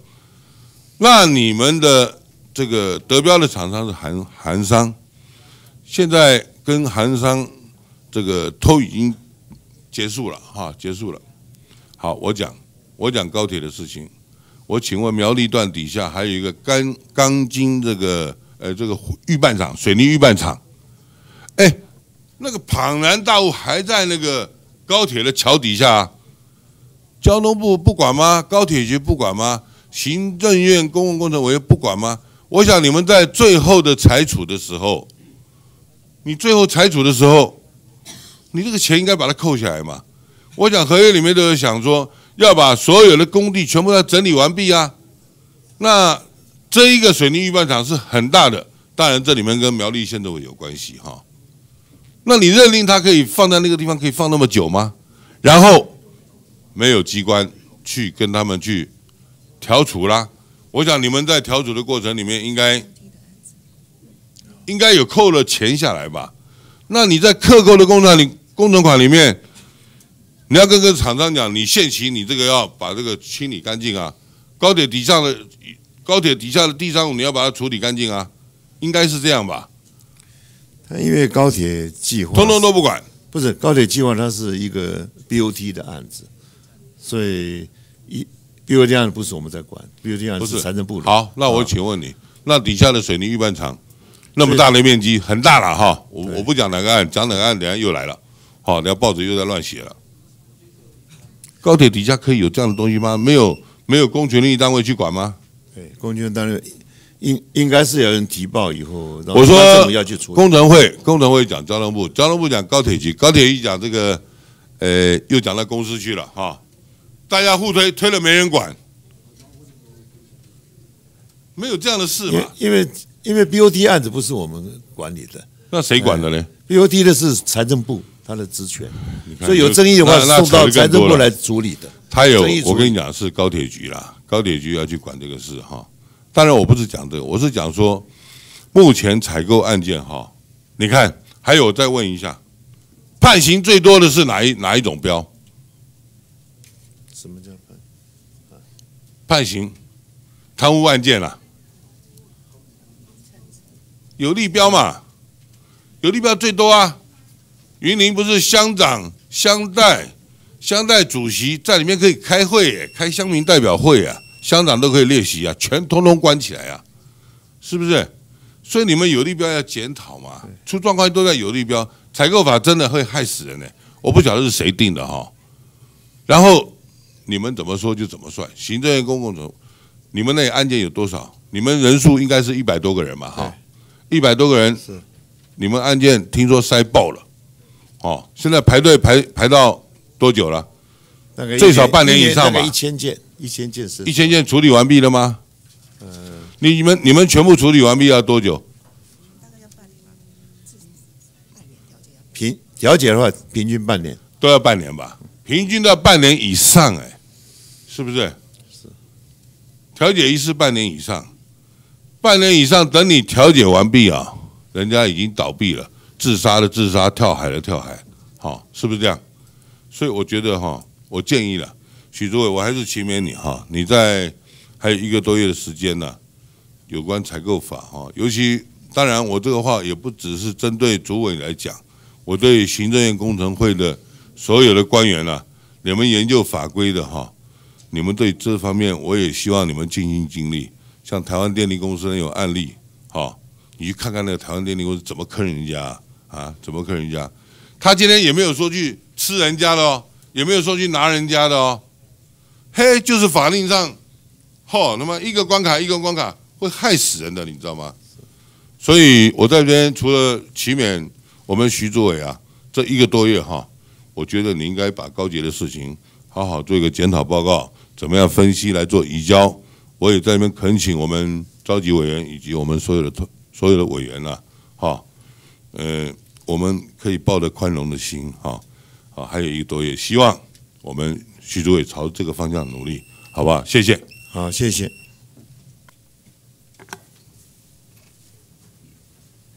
好，我们接着请赵正宇委员质询。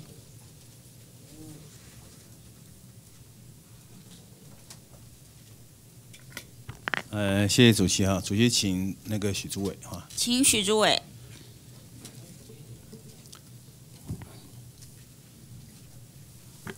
诸位你好好，你好，你好，好。刚才陈雪生委员讲的哈，我继续讲好了哈，我就不要再另外一个话题哈。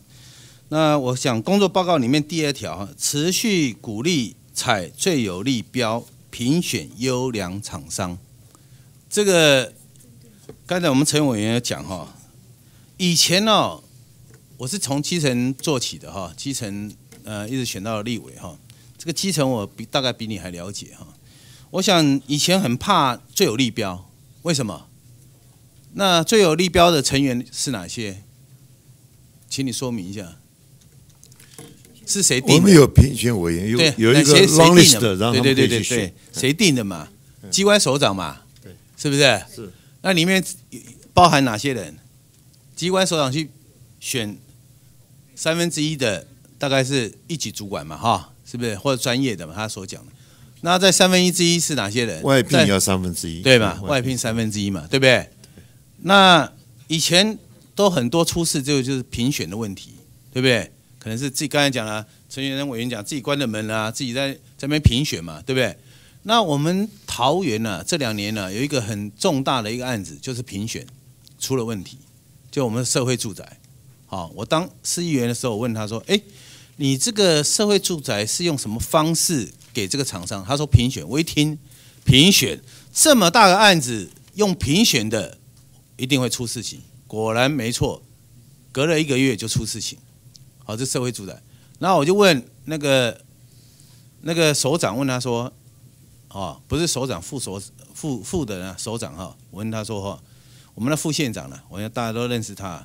我要说：你这个一品多少钱？你要卖多少钱？诶，跟议员报告，我均价十九万。哇，你那个地方我是在地八的人，我想土地多少钱，大概状况多少，我大很清楚。你这个是区段征收得来的土地是底价地，还不是四地重划哦。你是区段征收不是底费地、底价地哦，你还可以用这么高的价钱，表示这个都是有问题的。我想啊，以前呢、大家都用最低标来标，为什么？最低标标本来是最有利标，大家不敢用，为什么说出问题嘛？就用最低标，最低标他们怎么弄？你知不知道？我没关系，我七折，我七折半，好，我标到，标到之后我做一做，我追加，最后还不是一样？追减是不可能的啦，都追加了。那你现在又鼓励，哎，相当快百分之九十，哎，你你现在鼓励人家用最有利标，是不是以后造成更多的问题出来？好，刚才那个我们陈委员讲，哎，台电啊，自来水公司也是一样，现在都是外包的啦。哦，你外包的，他们是用最低标标，哎，人家就修理他们了，对不对？不给你验收，一天到晚很多问题。如果台电以后变成最有利标的话，话，那以后会不会这么这么多问题，验收那么多问题？我跟你讲，搞问题就变比较少。所以说，这个最有利标评选优良厂商，我从公所一直到议员，议员一直到立委，我看过那个厂商做了二十几年，还是他殷实厂商、优良厂商，我怎么认老认为他做的东西都是不是很好的？这叫优良厂商，每次都是他做了二十几年，每次什么问题都是他。我觉得哈、这个最有利标啊，我想你们这个这么大的单位哈、公共工程委员会啊，要检讨一下，这个最有利标是不是对我们这个我们的公共工程有品质有保证？说明一下好不好？没关系，那个主委，你请那个承办的承办陈处长处长讲。计划处是，哎，委员好。那基本基本上那个决标的方式啊，在采购法里面有最低标、最有利标，当然是个案呃机关依照它的特性去依案制宜来选择。选择嘛，对不对？那你不是我问你，你们答的还不是都一样吗？报告委员啊，土法不足以自行啊，还最后还是看人，我当然对不对？你刚才说嘛指指的哈，都是人的，哦，我的意思是说哦，不公正才执行到偏差去了。那你们多少钱以下你们才介入？多少钱以上？我们做呃你们去抽查才去才去？我们是一亿元以上，一亿元以上一亿元以下就不管了啊。哎，那个因为我们人少少，没少嘛，对不对全国？。所以说你看看，那下面人多高兴啊！好，一亿元以上，好了，你讲到一亿元以上好了。那我身为桃园人，我就讲我们的机场捷运啊，再转回来哈。那机场捷运减价验收啊，那机场减价验收，那网工公司是不是你要让他验？只要验收嘛，现在反正道歉也没有用了嘛，验收嘛，只要通知。哎，诸位啊，如果是你是一个公司的老板哈，你这个从开始计划一直要做这个工程，以后要赚钱回来嘛，对不对？那公司你是董事长，用了二搞了二十几年还没有通车，你这个公司还会在啊？就是因为这个是公家的东西嘛，反正公家的东西钱是公库嘛，是老百姓姓的钱嘛。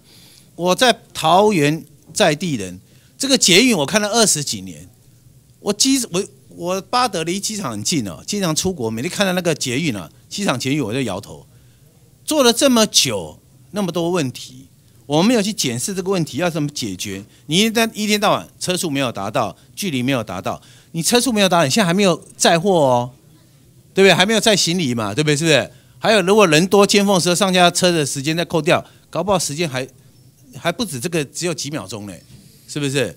那间距的问题，刚才我们其他立委有讲，哎，这个刹车刹了一公里，这怎么刹车？是不是？这个不管它西门子的系统的问题，或者王宏公司的那个呃监监造的问题，它二包三包下去，这些问题啊，都是你们公共工程委员会要处理的事情。好，今天你们真的是哈，最后啊都丢给你们，啊，主委，你要怎么善后？报告委员啊，大家都也是想说，最后要每个都问你嘛，你现在是公共工程委员要负责，嗯，所以大家一直对对这公共工程委委员会这个组织职权啊、师长啊，没有搞得很清楚啊。对啊，你说我们只是追列管追踪查核而已，嗯，那真正在做作业执行的是执行单位。所以你刚刚提的那些问题哦，我们实在是很抱歉，我没办法回答你。那执行单位要回答的。我跟你讲啦，你们就是统筹公共工程嘛，对不对？你的规划嘛，也是你们还要审议啊，你们是审议啊，议对不对？还要协调啊，还要监督啊，这都是你们的责任啊，是不是？你监督不是监工了，不是监造。我说监督啊，我没有说你监工啊。对对我刚才讲监督啊，啊，你监督你有问题，你就要提早就要报告啦，就要说出来，不是说到现在最后的时候有没有出了问题，你们才哎这个有问题，我们来请假验收，我我们原则上啊原则上处理是他提报出来要解决待解决的问题。主委，你要把我们公共工程委员做成什么？你知不知道？做成非常专业的一个单位。只要我不管去哪个单位哈，公家机关去抽查的时候，人家会紧会怕。为什么？因为你是最专业的、权威的，对不对？是不是？你搞了哎，公共工程委员会来啊，反正他们也不懂啊，没关系啊，你要来看就看，反正他们也看不懂。你会让我们公家机关会产生这个问题哦，是不是？所以说你们的 power 还有你们的那个专业知识，哈、一定要要加强，好不好？不过机电耗资的部分剩最后一里路啊，不是我们专长。剩最后一里路啊，这个机场捷运剩最后一里路啊，赶快把它弄好，好不好啊？那另外一个事情呢、刚才我们其他的委员有讲，以前海沙屋啊，现在变成我们的那个那个，对不起啊，炉渣哈，在我们水泥混凝土的应用之上，应用之下哈是如何？您了解吗？不晓得那个，因为我学土木的哈，哎，也您是工程师。那我们有高炉水泥，高炉水泥它的半那个那个半合物就是炉渣，把它磨成粉。对对，加了多少？它但是它是要高高炉炉渣，高炉对对高炉对对。那个在国外哈，他们对高炉炉渣哈非常喜欢，他们觉得这个这个材料是非常好的哈是。它加到我们水泥是十到十五帕嘛哈。是。但是我们的为什么像我们的那个松烟为什么会有问题呢？请你说明一下。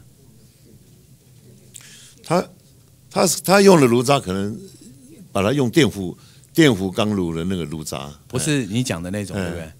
我跟你讲，它是清水磨的啦，对不对？它没有吸压水嘛，它也没有外墙瓷砖嘛，它遇水就膨胀嘛，就露出来嘛。其他很多公共工程或是一些一般私人的建商，他搞不好也用这种水泥，只是它有一个外墙，可能石材有没有，或是二丁挂，哈，或者他吸压水，哈，或者他刷油漆，或者任何一种外表掩饰，你看不出来，这个以后都有问题的，都会发生的。而且我们地震又多哈，主委特别要加强这个我们的炉渣在混凝土有没有的那个应用之上，哈，有没有问题要特别要注意一下，哈，好不好？是。那很多人讲说我们这个，你刚才讲啊，我们这个炉渣有分四种，一种高气哦，那个高炉渣的嘛，对不对？气冷式的，还有一种就是水萃的，有没有高炉渣，对不对哈？还有脱硫的，哦，还有转炉的。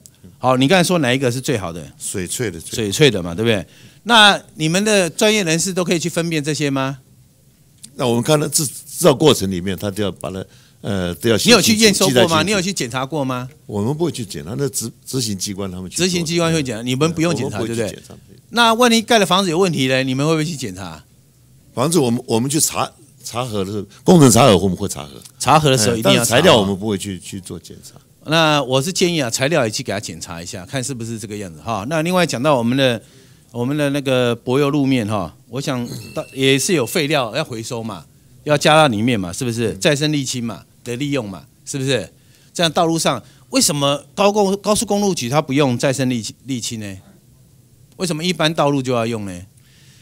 高速公因为再生沥青它的寿命比较短，哎，比较短嘛，哎对？那高速公路它的它的每一次翻修的这个时期很长，很长嘛，所以它不会用这个这个再生沥青。我跟你讲，诸位，一般的道路哦，还有市区道路哦，我跟你讲，他们用的时间也比较长，只是它的是没有重压而已啊。哈、他用这个再生沥沥青哦，我想这个台湾的资源越来越少，再生沥青回收哦，大概百分之诶二十左右哈、那我们的工程品质真的很差哈、那一般的市区道路哈、乡镇市区道路哈、铺这种再生沥青呢，很容易坏掉。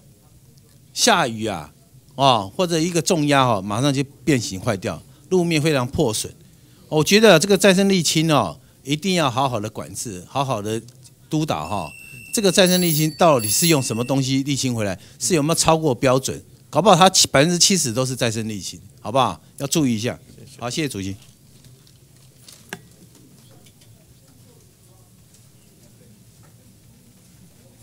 好，我们接着请刘兆豪委员质询。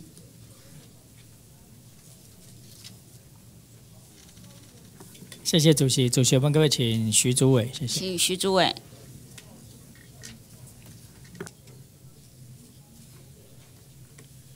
六位好，呃，诸位好哈，诸位，我想，呃，如果组织再造完，组织再造完成之后，公共工程委会即将要呃并入其他的机关了哈。但是我在想，有一有些工程委会这几年的，哎，是民什么时候成立的啊？整个工程委会是八四年，八十四年哈。我觉得有时候我们政府也是在做一个试验的哈。有时候我们那时候本来是期待透过一个公共工程委员会啊统筹哦，至少它变成一个我们我们公共工程很多嘛，从中央到地方，而且全国分布这么广啊，希望它能做一个啊，不论是采购法的主管机关也好，或者是对整个公共工程的品质或者产生纠纷的时候，它成为一个啊主管机关哈。但是我想呃。走了这么多年，可能这当中我们发生发现了许许多多的问题哈。坦白讲，要要透过一个这样一个啊中央的机关，能够希望能统筹啊全部的公共工程，还有事实上的困难哈。但是我觉得这个当然也不是你个人的问题啊，因为这历经了好几任的主任委员啊。本来本席一直认为说，公共工程委员会，因为第一个你们不是真正实际工程的执行机关哈，但是事实上我们很期待。工程公共工程委员会能够成为一个呃指标的一个机关呢？我举例来讲啊，这个公共工程委它其实不是在管，不只是在管这个很大型的公共工程哈。我想啊，现在许许多人能够到国外去参观过了，但我们不是讲国外的月亮一定圆呐，也不是这个样子，而是人家有一些优点，我们一定要去学习哈。我举邻近的日本来讲。我们我们去日本的时候，我们光一件事情，我们就觉得那让我港啊，哈，就是光铺柏油路就跟我们不一样了。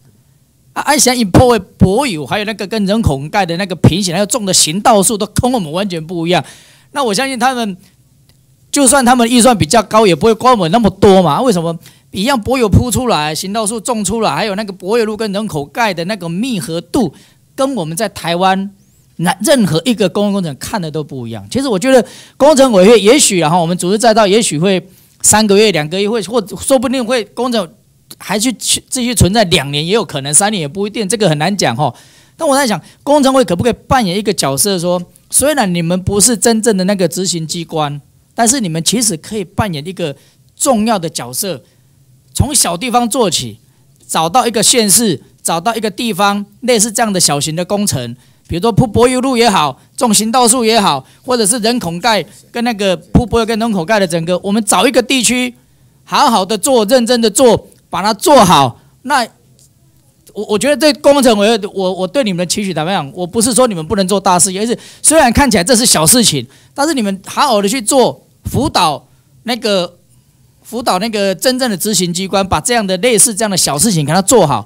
我相信他对台湾的公共工程品质会有深远的影响，因为人家公共公公共工程品质哈，如果大家诟病很多，其实不是一个地方的问题而已啊，是每个环节它都都有出问题嘛。所以以前会出到出现那个，为什么大家会怀怀念陈定南部长？他在宜兰县当县长的时候。大家怀念他，为什么？因为有些人认为他说他的手法比较激烈一点。他说，但是面对面对那个以前比较被啊击废城市的呃公公共工程的环境里面，他用比较激烈的方法，怎么样？他就是把它导正过来嘛。所以大家很怀念他啦，种树用球种球啊，那个距离用球牛啊，用球牛然后啊，随时带个带个铁锤或带个尺等等。我相信那个都会让人家觉得很怀念呐。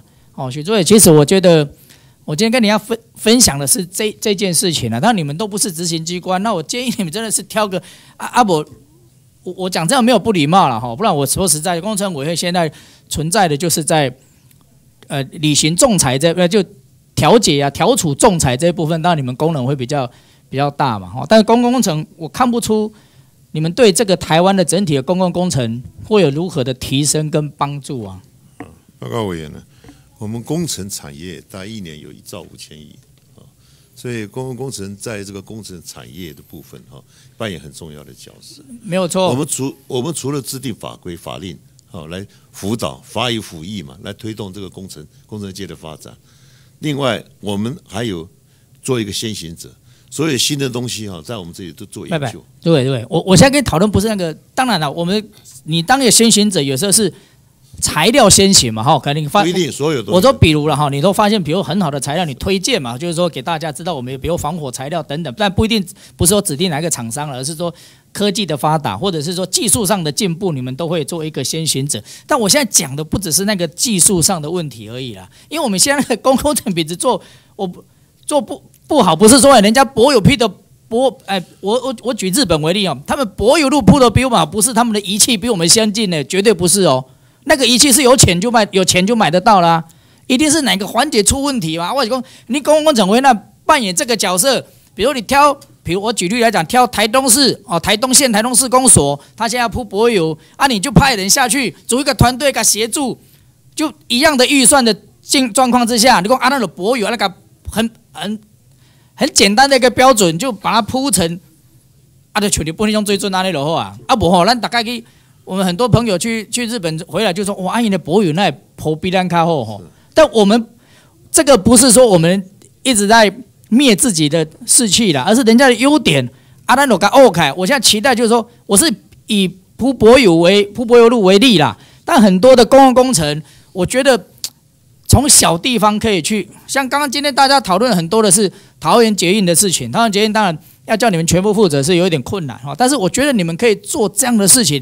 从小地方开始去做起，我觉得对对台湾的公共工程品质影响是会非常深远的。啊，不然从抱怨，从我小时候一直抱怨，大家抱怨到现在啊，走龙啊来走做干呢？委员，那个，所以这个刚刚委员讲的都很都正确了。所以我们在因为很多成功家，尤其日本哈，他自律哈做得非常好。就每一个工程人员，他对自律很好，对对，所以我们就在加强工程。哎，诸位，我赞成，我赞成这个，所以我说这个绝对不是一个缓解问题而已。啊，我们政府机关也不能讲这样，就说阿伯打个自律，我就完，那他需要政府干嘛？就是我们有在，我们在做。诸位，我我是我真是积极的建议跟要求你啊，就是说这件事情你做好，人家有有一天。我不知道什么时候嘛，我们都会离开我们现在这个现在的位置嘛，好到别的地方去嘛。啊，就说人家会怀念说，我你垮这东西吼，工程委员会来辅导哦，比如说台东县卑南乡公所，他铺一个呃一条马路的柏油啊，铺得很好哦啊，这个就是公工程委员会，他不是你们不是只有在事后监督或等等，而是你们真的派一组人下去做。我刚刚这做久了哈，以后即便是组织再到时候，公共工程会这样的角色也，我觉得是，如果你问我，我觉得政府设立这个机关是有意义的啊。是，我我阿阿伯啊，不然大家想啊，就是我们公共的品质，你去问坊间问大家的观感，大家哦，我我我家建议啦，你们不要只有在组织我我们有再造之前接受，有接受啊。我我我我们一直有办有办理标杆学习的，对于那些品质很差的单位，我们会找品质好的来对对，我我现在就是说哈，你们扮演这样角色，你不是是事后去打分数啊，或评比，而且你们打分数大概是你们没有，你是用抽查的，或一定金额以上，因为啊那么多，你们不可能每天去抽查。我说现在是你们化为主动哦，不是只有去是。抽查啊那俩，化为主动啊，你们就主动去问哪一个乡公所哦，虽然是地方自治哈，但问我一向一定会有人会同意嘛哈，啊你们就去辅导他。不柏油是我举例啦，不一定要找柏油路啦，对对就是找小型的嗯啊，小型。那即便是不大的特别是乡公所或市公所那个，你我觉得如果这样下去，大家讨论啊，督导虽然他们是执行机关，那真的下去做啊，你们很多人才嘛，真的下去做哦，他把那个真正的落实在那对品质的要求啊，我我觉得对台湾的整个公共工程会有很深远的影响啊。我像你讲的啊，啊，包括我啦，我现在讲的都包括我，像我们有时候就马虎习惯了嘛啊，从罗哦，像以前以前我念我我念过建筑系啊，建筑系以前有一次标语说哈，说这个有些人态度是用游标尺量啊，哦，然后要要做的就用斧头砍呐、好 用游标尺量一量，结果要真的做就用斧头下去砍呐啊但我 我不是在消遣任何人，就是说有时候难免我们的生活习惯会啊那啰错惯习啊嘛啊那个真的要从小地方去要求起才有办法。我提供你做参考了，好不好？我提供真的不止参考，我期待你了。这个在这个位置上看起来这个是不起眼的事情哦，它不是很庞大的金额哦，但是我觉得我认为是会。真的对我们台湾是有十足帮助的哈。那我现在跟你讨论的是，今天大家讨论很多机场捷运这个公文这件事情了哈。关于减价业，我我帮你说句公道话了哈。其实这种公文，一般的公务界这个大概稀松平常了哈。你就把条文抄一下，然后投给请职权机关去本于职权去做处理嘛哈。但是我个人认为，你这个公文哈，你这样的这样的，人家会起人会产生很大的争论出在哪里？就是说，其实我面对桃园呃机场捷运这件事情，局长就是说这个最后，我从法律上的可能一定有有有可至少会有两种可能嘛，一种就像公文上里面就是说本于这个采购法的七十二条减价验收，这是第一个嘛哈，减价验收。第二个就是它的呃违反契约是已经影响到安全。或者是根本没有办法履行到合约的核心精神嘛？哦，核心精神啊，那个时候怎么办？就要解除契约嘛？啊，没有其他方法就要解除契约了。所以其实是有两种选项啊。但是好，你这个公我会让人家诟病的，就是说，其实你把它限定在一个选项而已啊。哦，我现在不是说你一定，我不说你怎么样了哈。我说我说大家来讨论这件事情啊，就是你本于公工程会，那你你既然要叫。职权机关本于职权处理，事实上它是有两个选，它的处理方式是有两个选项的呢。我我讲这样没有错嘛？就就法就事论事是有两个选项嘛。好，所以大家会认为，包括媒体也好，或我们同仁也好，会认为说你就是在叫他要这么做了啊。但是好了，我的解读了，我现在不为谁讲话，用这支公文来讲，你还不至于说叫他一定要这么做了。但是你很明确，你的。公文是说告诉他采购法第几条有这样的规定嘛，叫他这样子做哈。但是你忽略了一点，其实是有两个选项的，你要要说带清楚。这第一个，那第二个，你关于这个，呃，你提示他了哈，你看你提示他违反契约的状况，这个等等哈，就是第一第一项你的说明的第一项的第一款里面哈，它里面我说，诶，台北机场三十五分钟。等等，还有班距最轻三分钟等等哈。实际上，据我们了解，这个这个状况不是他这这个这个是还是他违反契约状况里面比较轻微的，是他违反契约状况里面还有比较严重的。那我认为这个里面你都没有把它说清楚，好，所以我们认为你既然要做，身为这个采购法的主管机关，你不是真正的执，你这不是真正的契约当事人，你不是真的契约执行者，你只要告诉你是要告诉那个。呃，执行机关本你之前你有什么样的选项的时候，你应该要完整的说明清楚，在他符合你的职责。以上给你做参考。因为他没有报告那些其他的状况。没有啊，你要，但是你本于你的职责，你是主管机关，你要告诉你，既然你的职责你是要告诉他，你可以决定什么，你要说明清楚。我们没有想到，没有料到一个公文会那么多解读了，是这样的。谢谢。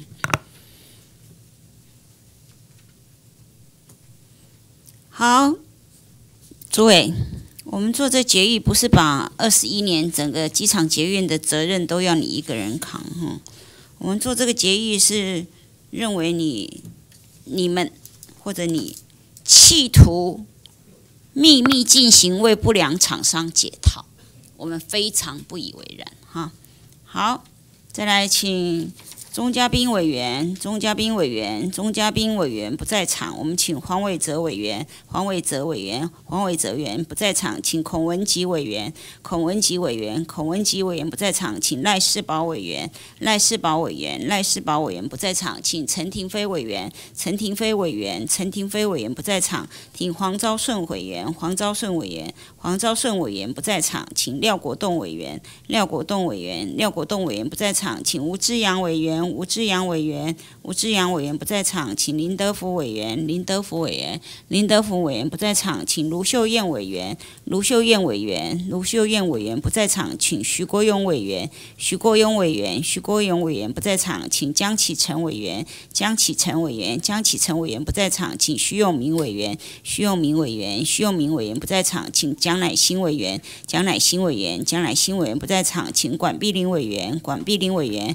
管碧林委员不在场，请何新存委员，何新存委员，何新存委员不在场，请邱志伟委员，邱志伟委员，邱志伟委员不在场，请高金素梅委员，高金素梅委员，高金素梅委员不在场，请罗明才委员，罗明才委员，罗明才委员不在场，请林维洲委员，林维洲委员，林维洲委员不在场，请陈其迈委员，陈其迈委员，陈其迈委员不在场，请张立善委员，张立善委员，张立善委员不在场，请徐淑华委员，徐淑华委员，徐淑华委员不在场。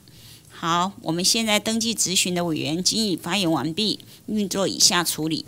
委员严宽恒、许淑华、陈树月等委员所提的书面质询列入记录，并刊登公报。针对今天的会议做如下决定：第一，报告及询答完毕；第二，委员于质询中要求提供的相关书面资料或未及答复部分，请行政院公共工程委员会尽速以书面答会，哎，答复。散会。